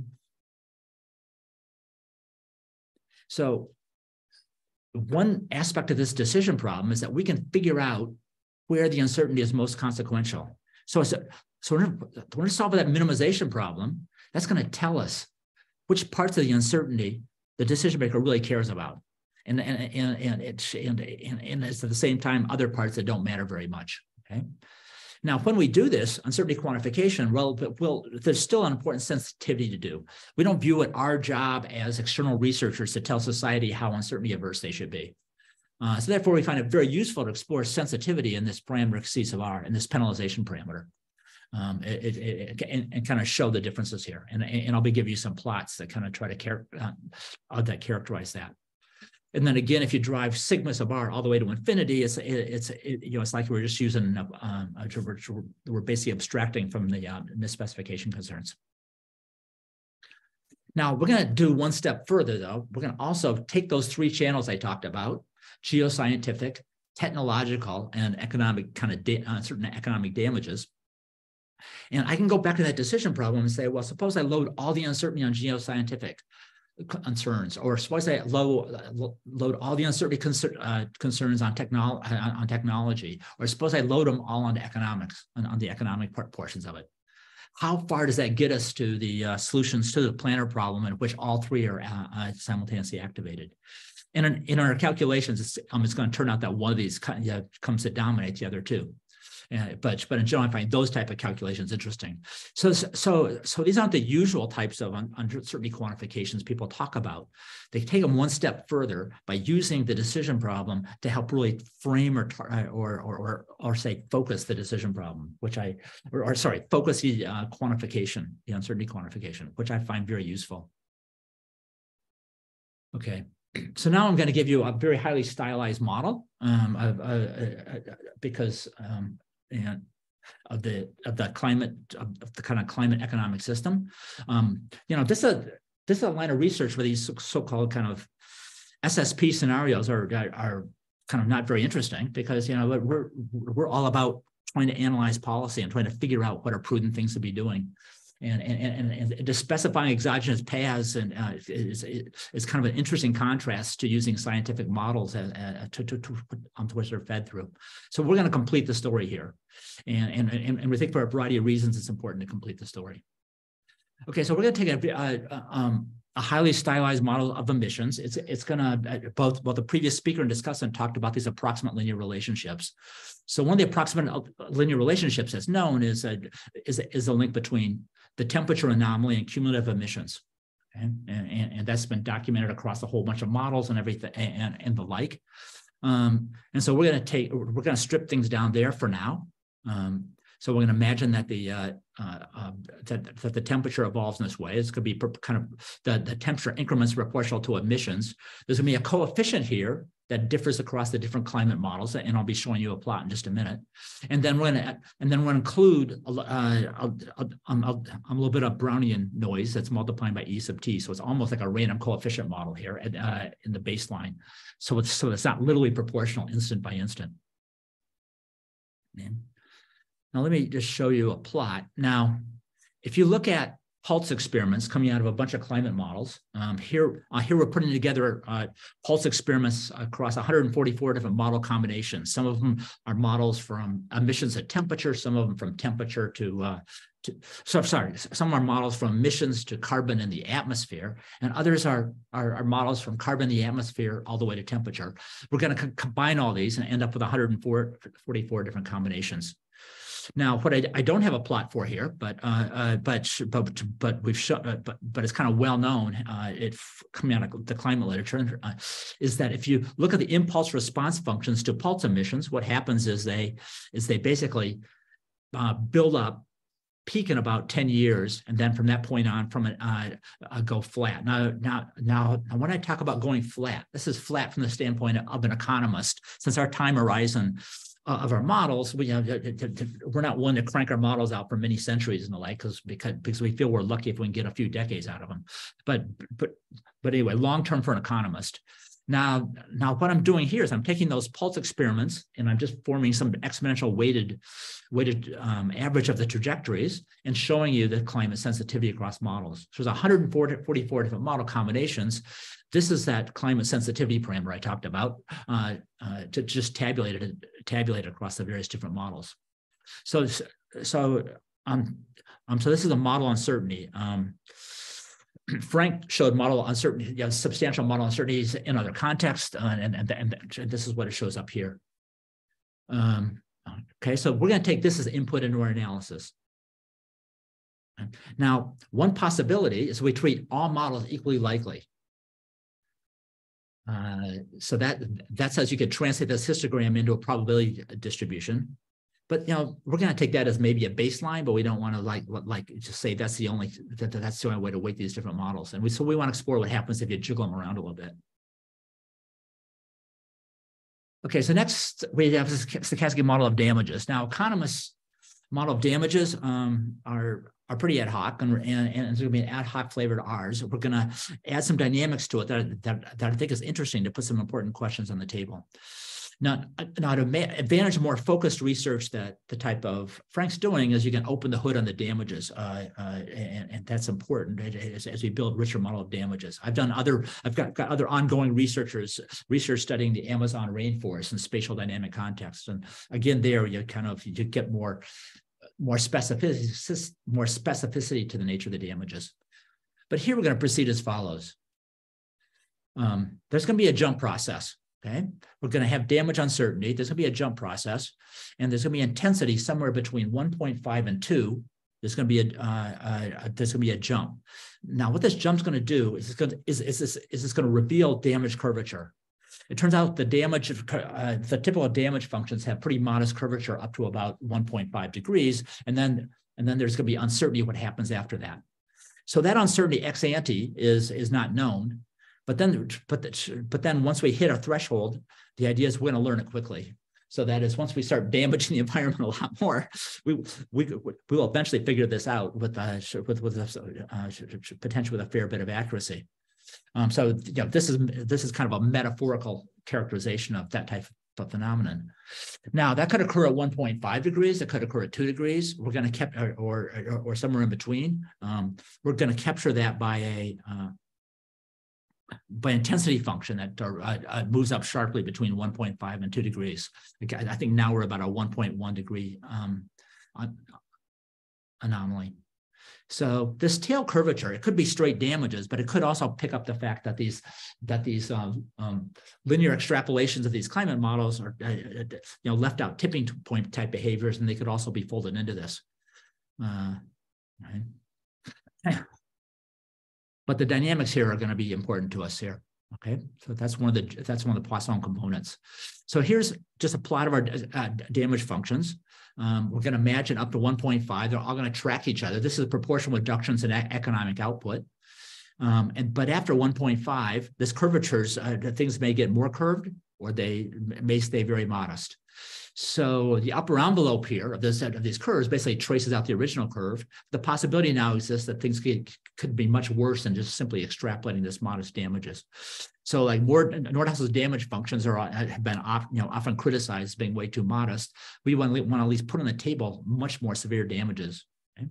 And you know we could debate how um, how wide this range should be. But for us, uh, this is plotting the range range of damages, which is which would uh, which will play out. And then we have uncertainty about which one of these curves we're on. So after we cross the th after we after this Poisson event gets realized, at that point in time, we know which curve we're on that um, in, in, in in our calculations. And now, this could occur at 1.5. It could also occur at 2. So if it curves at 2, you shift the starting date, and then and then and, and, then, and then the curvature shows off further in the tail. Okay, so th this is the type of damage uncertainty which, you put on the table. Um, so now let me add in a kind of stylized economic model in, into this in order to, to do the type of calculations we want to do. Um, one is there's to be a, a, a, stock of productive capital K. It's going to evolve as a kind of so-called eight, uh, as a standard model with adjustment cost. Cap is the adjustment cost parameter, and it's going to be exposed to Brownian uncertainty. ITK here is the uh, new capital. We're, we're going to have a second stock that's going to be really important to us. It's going to be the stock of knowledge induced by R&D. Okay, and, and I'm denoting this J. So, so by R&D, but yeah, by research and development. So we'll have this investment in research and development, and that's going to augment the stock of knowledge here. The idea is that this is targeted investment into learning more about productive green technologies.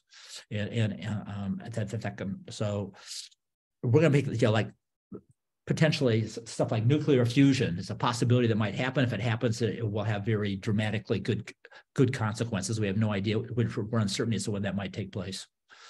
And the more we invest in it, though, the presum presumption is that we're going to increase the possibility of it happening. Um, so I so, so, so this is going to be a second form of investment here, and, and and this is our local and this is our dynamic specification for that. Now I've already I've, I've already told you the third the third state variable in our model was that was almost temperature, and you've seen those dynamics. Now it's going to be output. And this output constraint, we're going to follow a stylized version of, of, of, a, of a type of specification that, uh, that Nordhaus and others have used, which is a notion of abatement that takes place.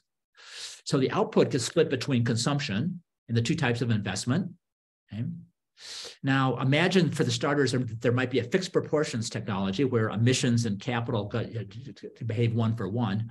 This is a technology then when you move away from the fixed proportions, then it, it, um, there's uh, output reduction. And that's what's captured this type of functional form. And that output reduction is, uh, um, uh, is often called abatement. Okay?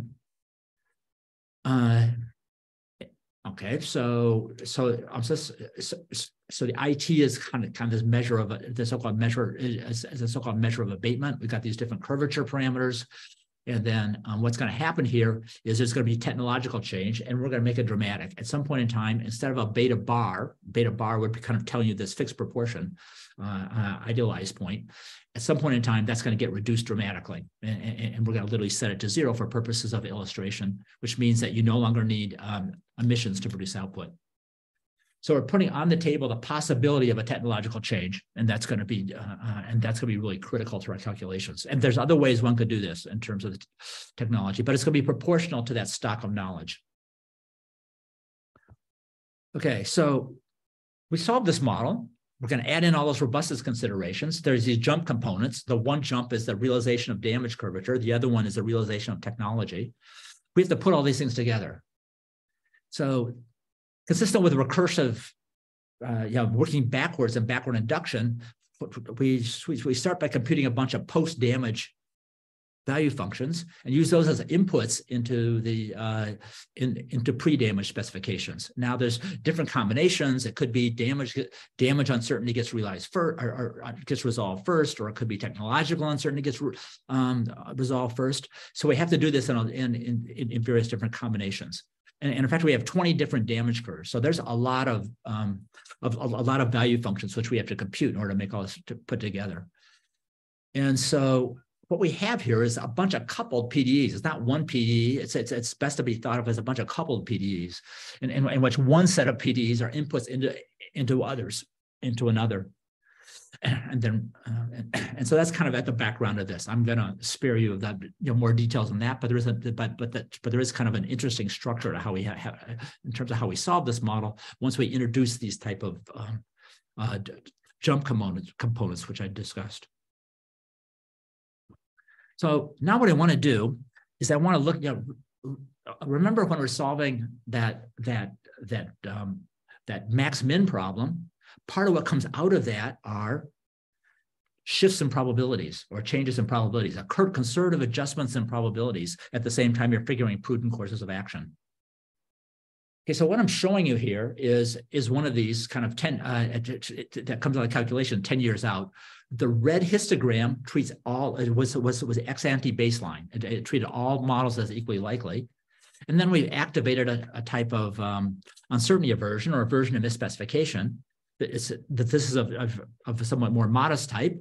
And what you do is you, you basically shift that distribution to the right. Okay?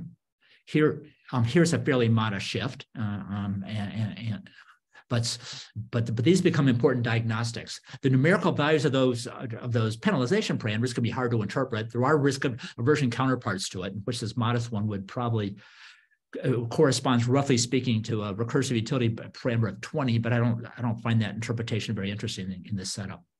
So um, now suppose that I go to more aversion society's more averse, then not surprisingly, you shift the distribution all the more to the right. Um, now, people often, claim about max min theory. Oh, you just get pushed to the extremes, but this is max min theory subject to constraints, and so we're so what we're doing is moving probability distributions around, uh, but but not to, to but not to extremal points. Okay? So that's the climate part that comes out of our calculations.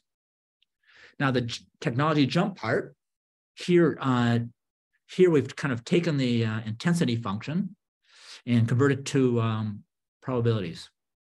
So the red line is kind of the baseline, uh, uh, computes these probabilities from the baseline intensity. Um, and, and, we're kind of calling that neutrality. There's no concerns about misspecification there. The, uh, the, less one kind of shifts you down substantially and, and, and, the, and, the, and, the, and the more even further. Now, remember these, these probabilities are not what you believe. You're, you're, you're not determining beliefs endogenously. They're helping you support prudent courses of action here. And so this really says, in contrast to that shift of distributions we had for climate models, this is a big change here. We're, I mean, we're uh, we're changing. Uh, uh, our fictitious planners really moving these uh, um, these technology jump parameters down. And to be conservative, he's reducing it substantially. So the uh, these uh, these green technologies un, yeah, under the sensitivity becomes much more much much less likely than under the baseline. Now here's the damage jump probabilities.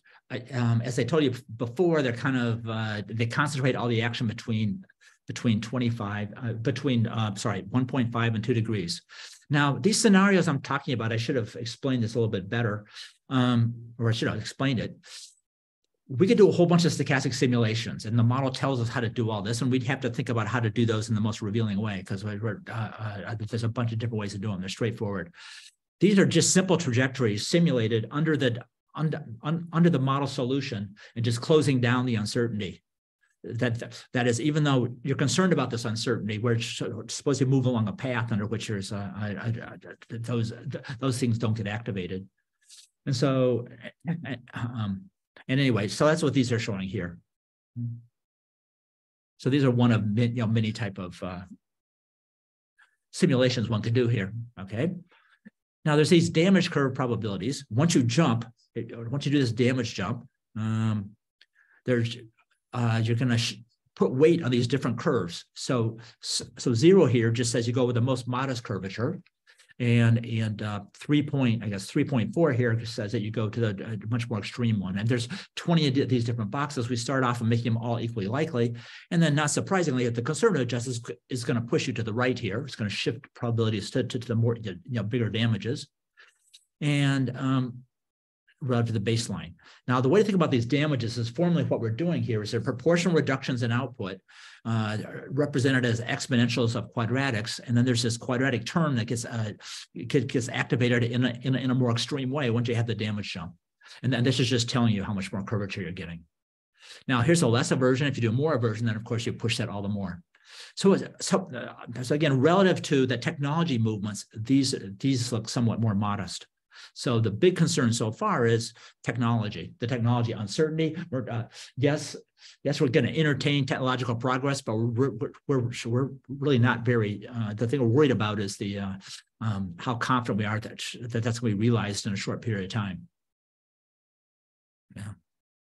Now let me go forward with kind of actions here. Um, so here's the so there is asset pricing in this in this in, the, in these calculations that, that are kind of diminished from the uh, point of this talk, but they're but they're really at the heart of a lot of calculations. The social cost of carbon can be thought of as a, as an asset price under which you're under which you're computing. You're looking at the uh, adverse social consequences of emissions today over a whole future trajectory. And then, and, and then there's an issue about how you discount that and how um, and then how you make adjustments for uncertainty. Our planner problem produces counterparts to that social cost of carbon. And again, these uh, the, um, uh, the discounting and the and, and, the probabilities use these worst case calculations, uh, which is consistent with the decentralization of ambiguity aversion models too. Another stock in here is um, is the social value of the R and D stock. And that's why I'm showing you here. So if you invest in R&D, it's going to have payoffs over you know uh, future time periods in terms of uh, um, when the uh, new green technology might be realized. So it's kind of a, a social a social positive cash flow, and and and and that that then has the interpretation of an asset price. So so so these are those in a log scale. Um, the, the neutrality is the smaller one, and, uh, and then there's less less aversion and more aversion. And so since it's on a log scale, these look like pretty mo modest changes. So there's like you know 5.7 to to um to six going from the red line to the to the blue line. So it's a, a it's a that's a arguably small percentage change in that social cost in, in, in the social value but that's but even that seemingly small change leads leads to a very big impact on the policy for for uh, R&D investment. And that's what I'm going to show here.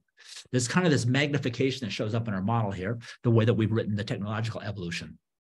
So so uh, these are R&D investments over GDP and if you look at the red line versus the green line now we're talking about this 0.2 percent of GDP and ramp and, and, and increasing by at least 50 percent uh, if you're more averse, even more so.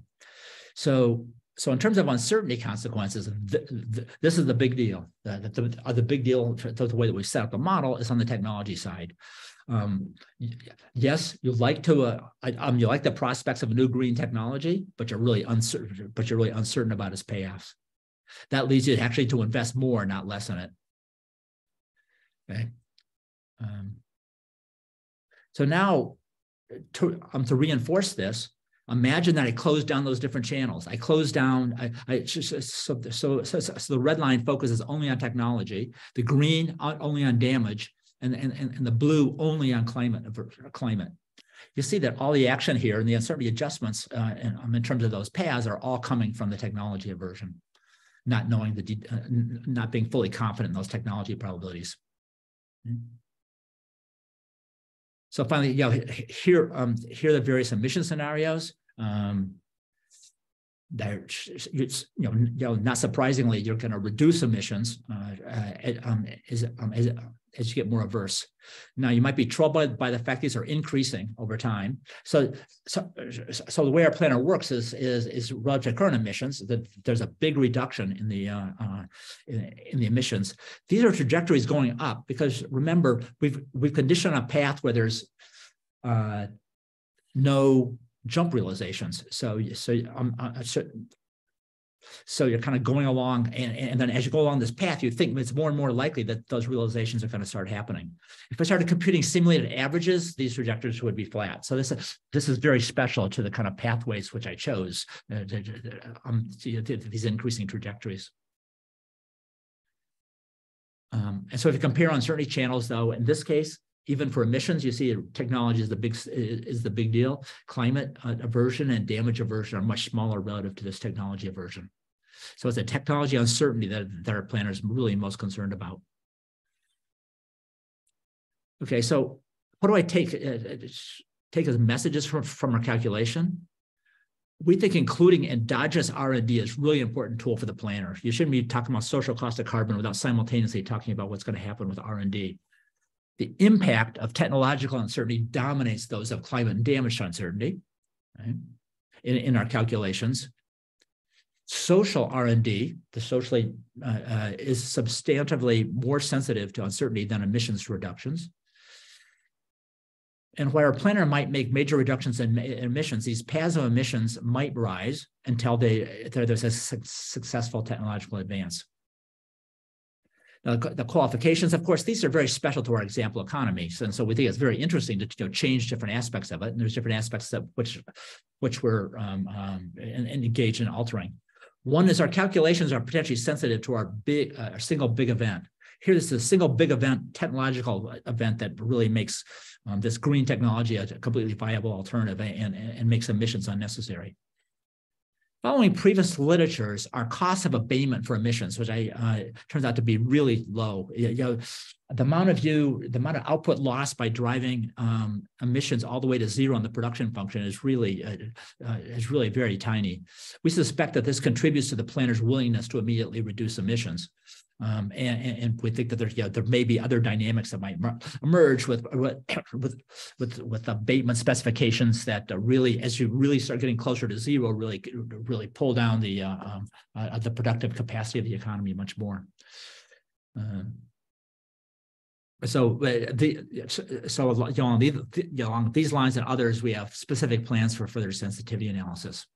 But let me just wrap it up here. Um, methodologically, we, are working on providing a tractable framework to explore unknown challenges ahead in climate and economic outcomes. We do so by refining and extending methods from decision theory and asset pricing.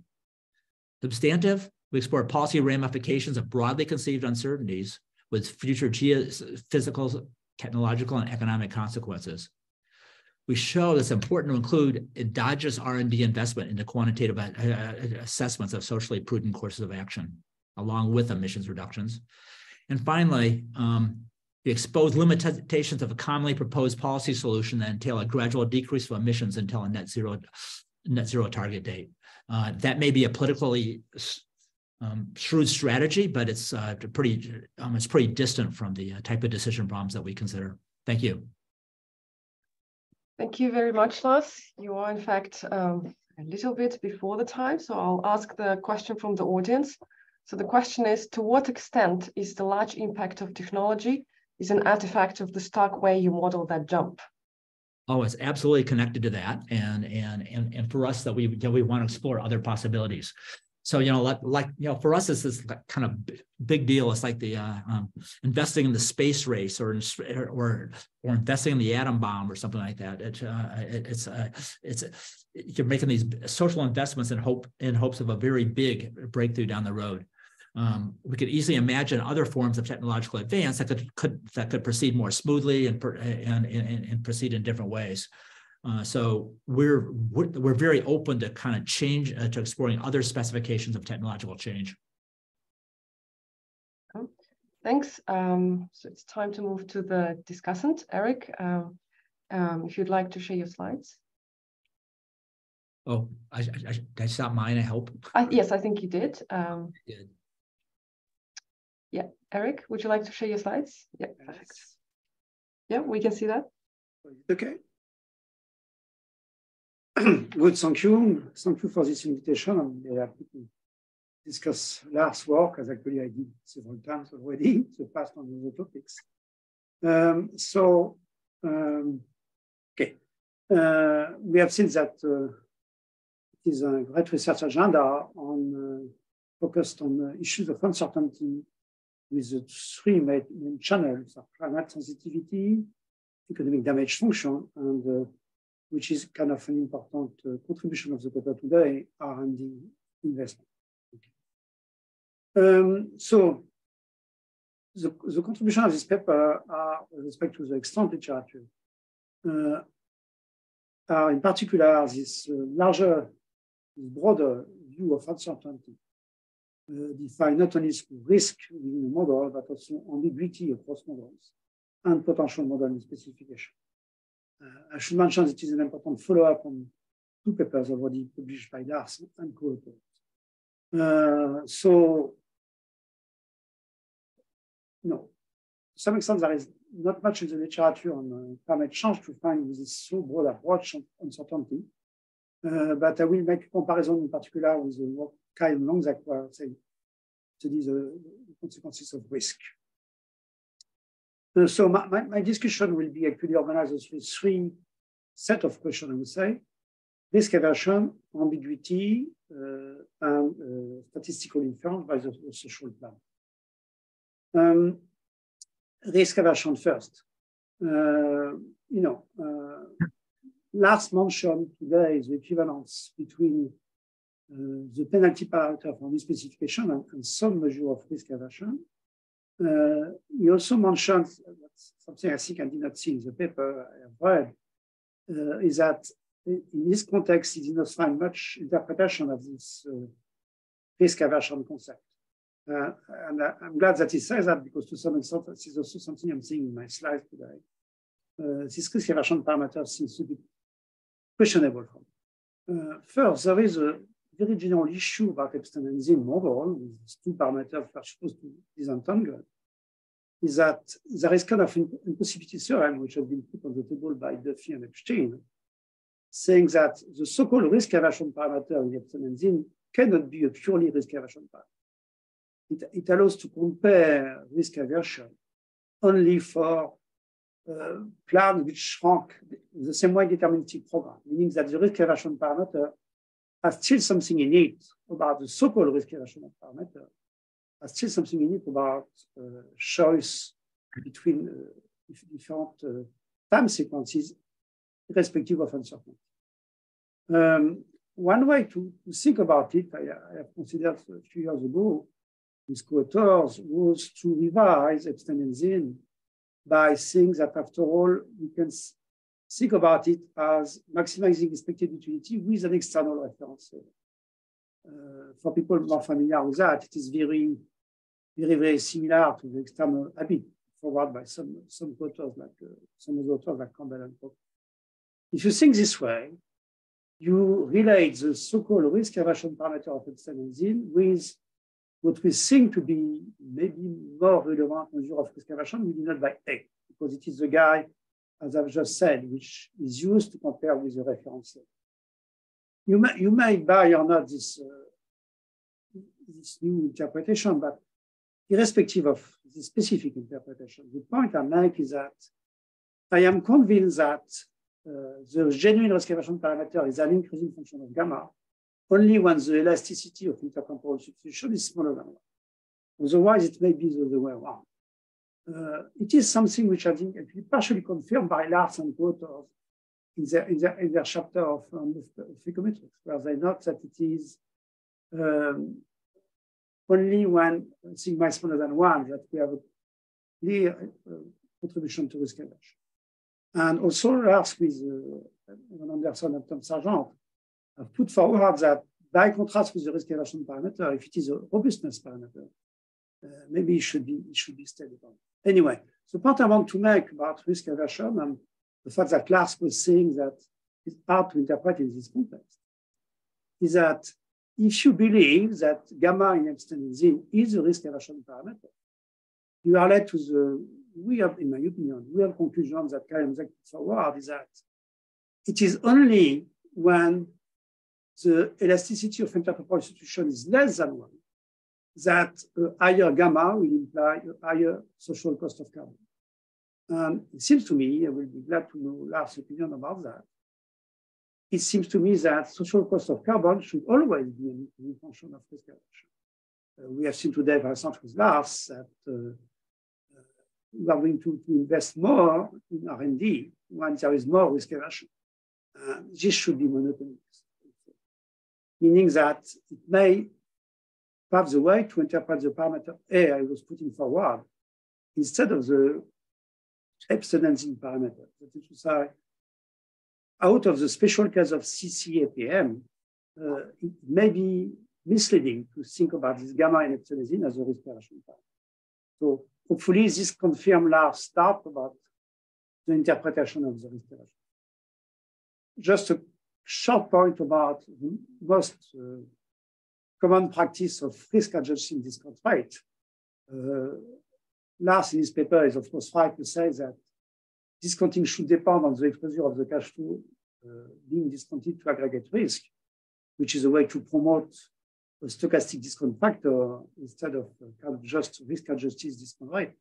I just want to mention that it may be possible to bring to bridge a gap between the two approaches by doing as Martin Weitzman has proposed a few years ago, to uh, think about different components in the, in the payoff discounted at different rates.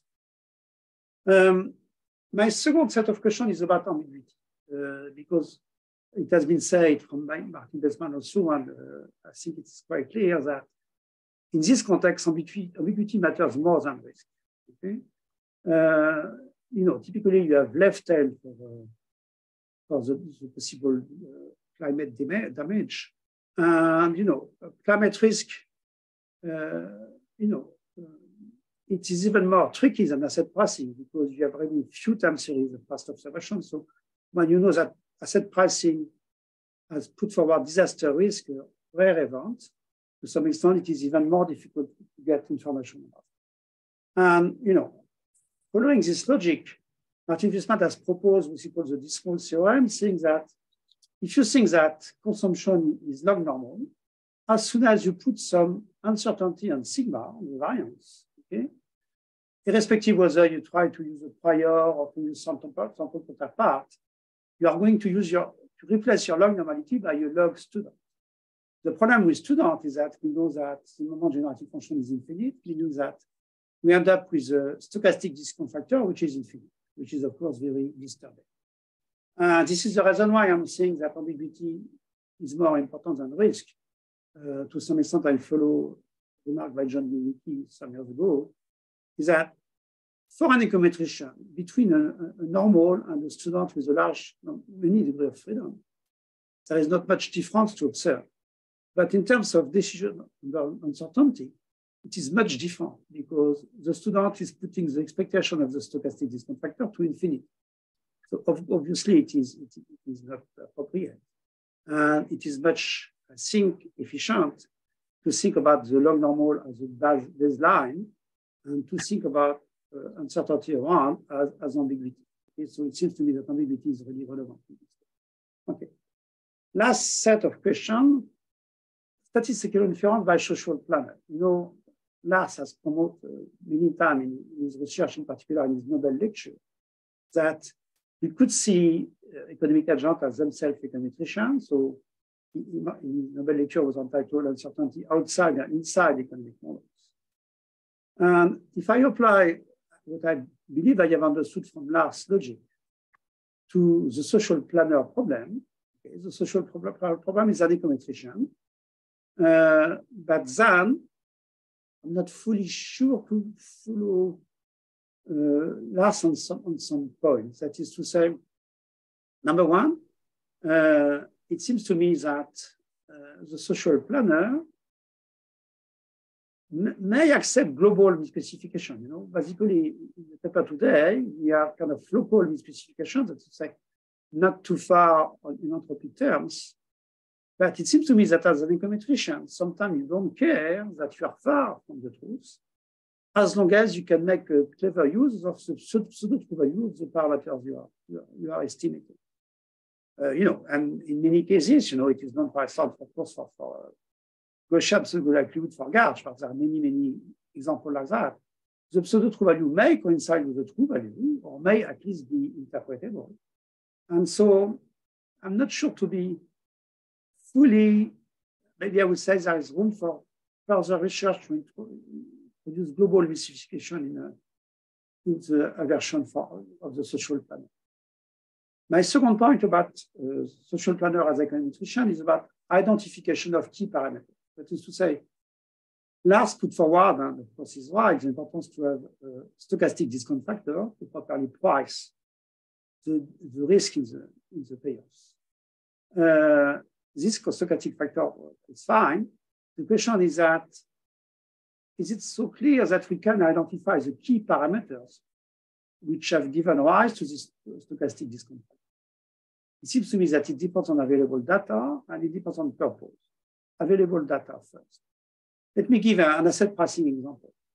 When you read the, the empirical version of Epstein's work, they, they, they note that if you just observe the market portfolio, basically you can hardly identify the difference between separable intertemporal expected utility uh, and the more general recursive utility.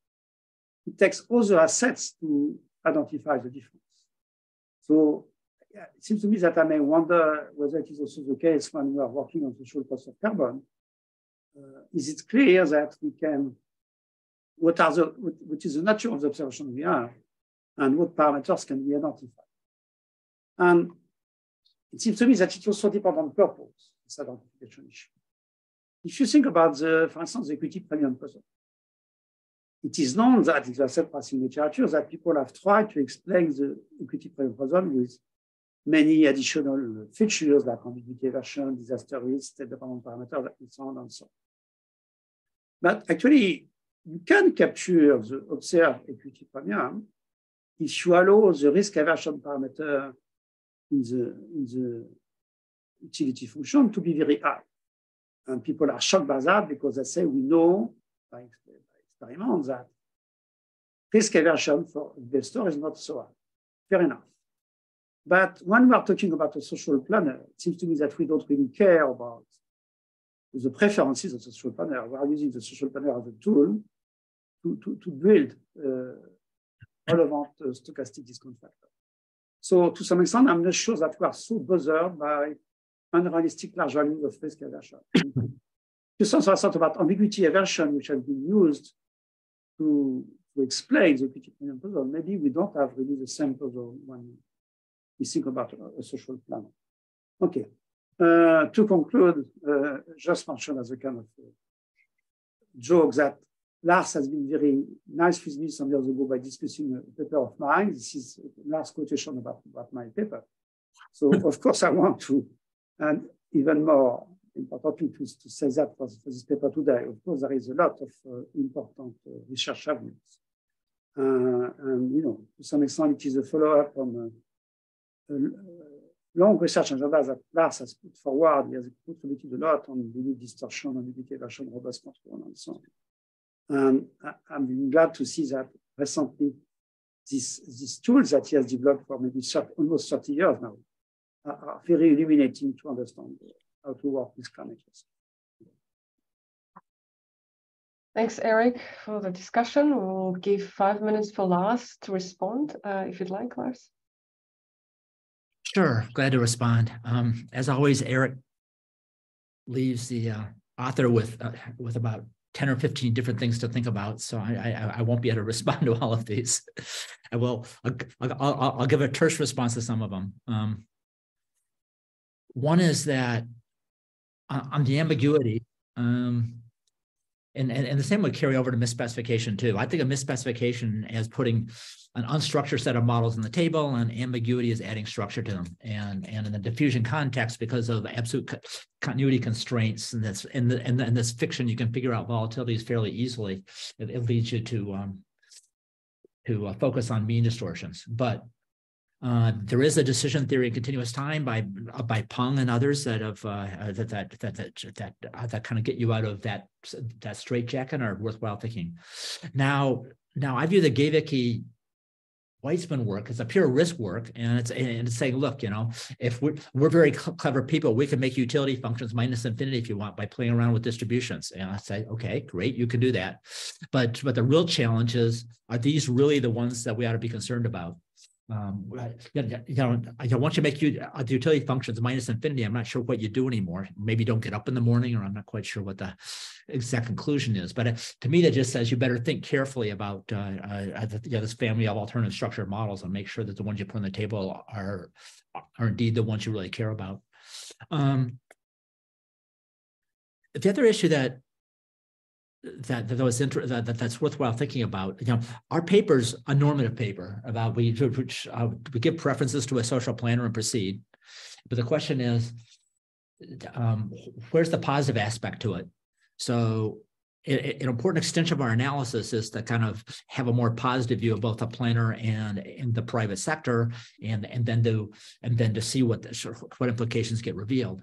Now, arguably, the planner ought to be representing private sector perspectives on some of these issues, and so that so so it still remains that that still becomes an interesting question about trying to identify uh, uh, parameters from say more market data.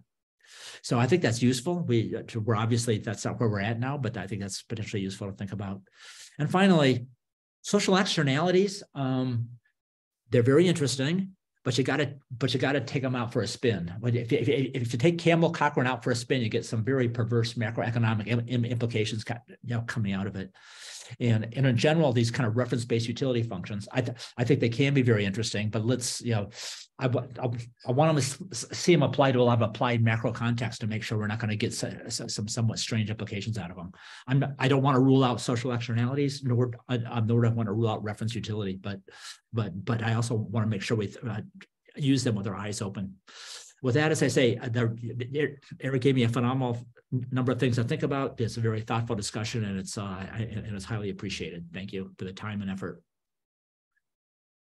Thanks, uh, thanks, thanks, Lars. Um, well, thanks again to uh, both speakers, Frank and Lars, and uh, both discussants, both Erics. Um, I will just um, end with one brief um, announcement that for the rest of this um, academic year, till next fall, we don't have any SoFiE seminars. Uh, we do have in a couple of months uh, our 15th annual SoFiE conference, which will be in Seoul. Um, and um, we, uh, the, the, dates are June 16th to 18th with a pre-conference the day before, June 15th. So we do hope to see as many of you um, as possible there. Other than that, we will continue next fall. So if you are not subscribed to our mailing list, please do so. That's how you get um, notifications for the upcoming events. Right, with that, thanks again for all the participants and the audience who joined us, and we can stop the recording now. Thank you.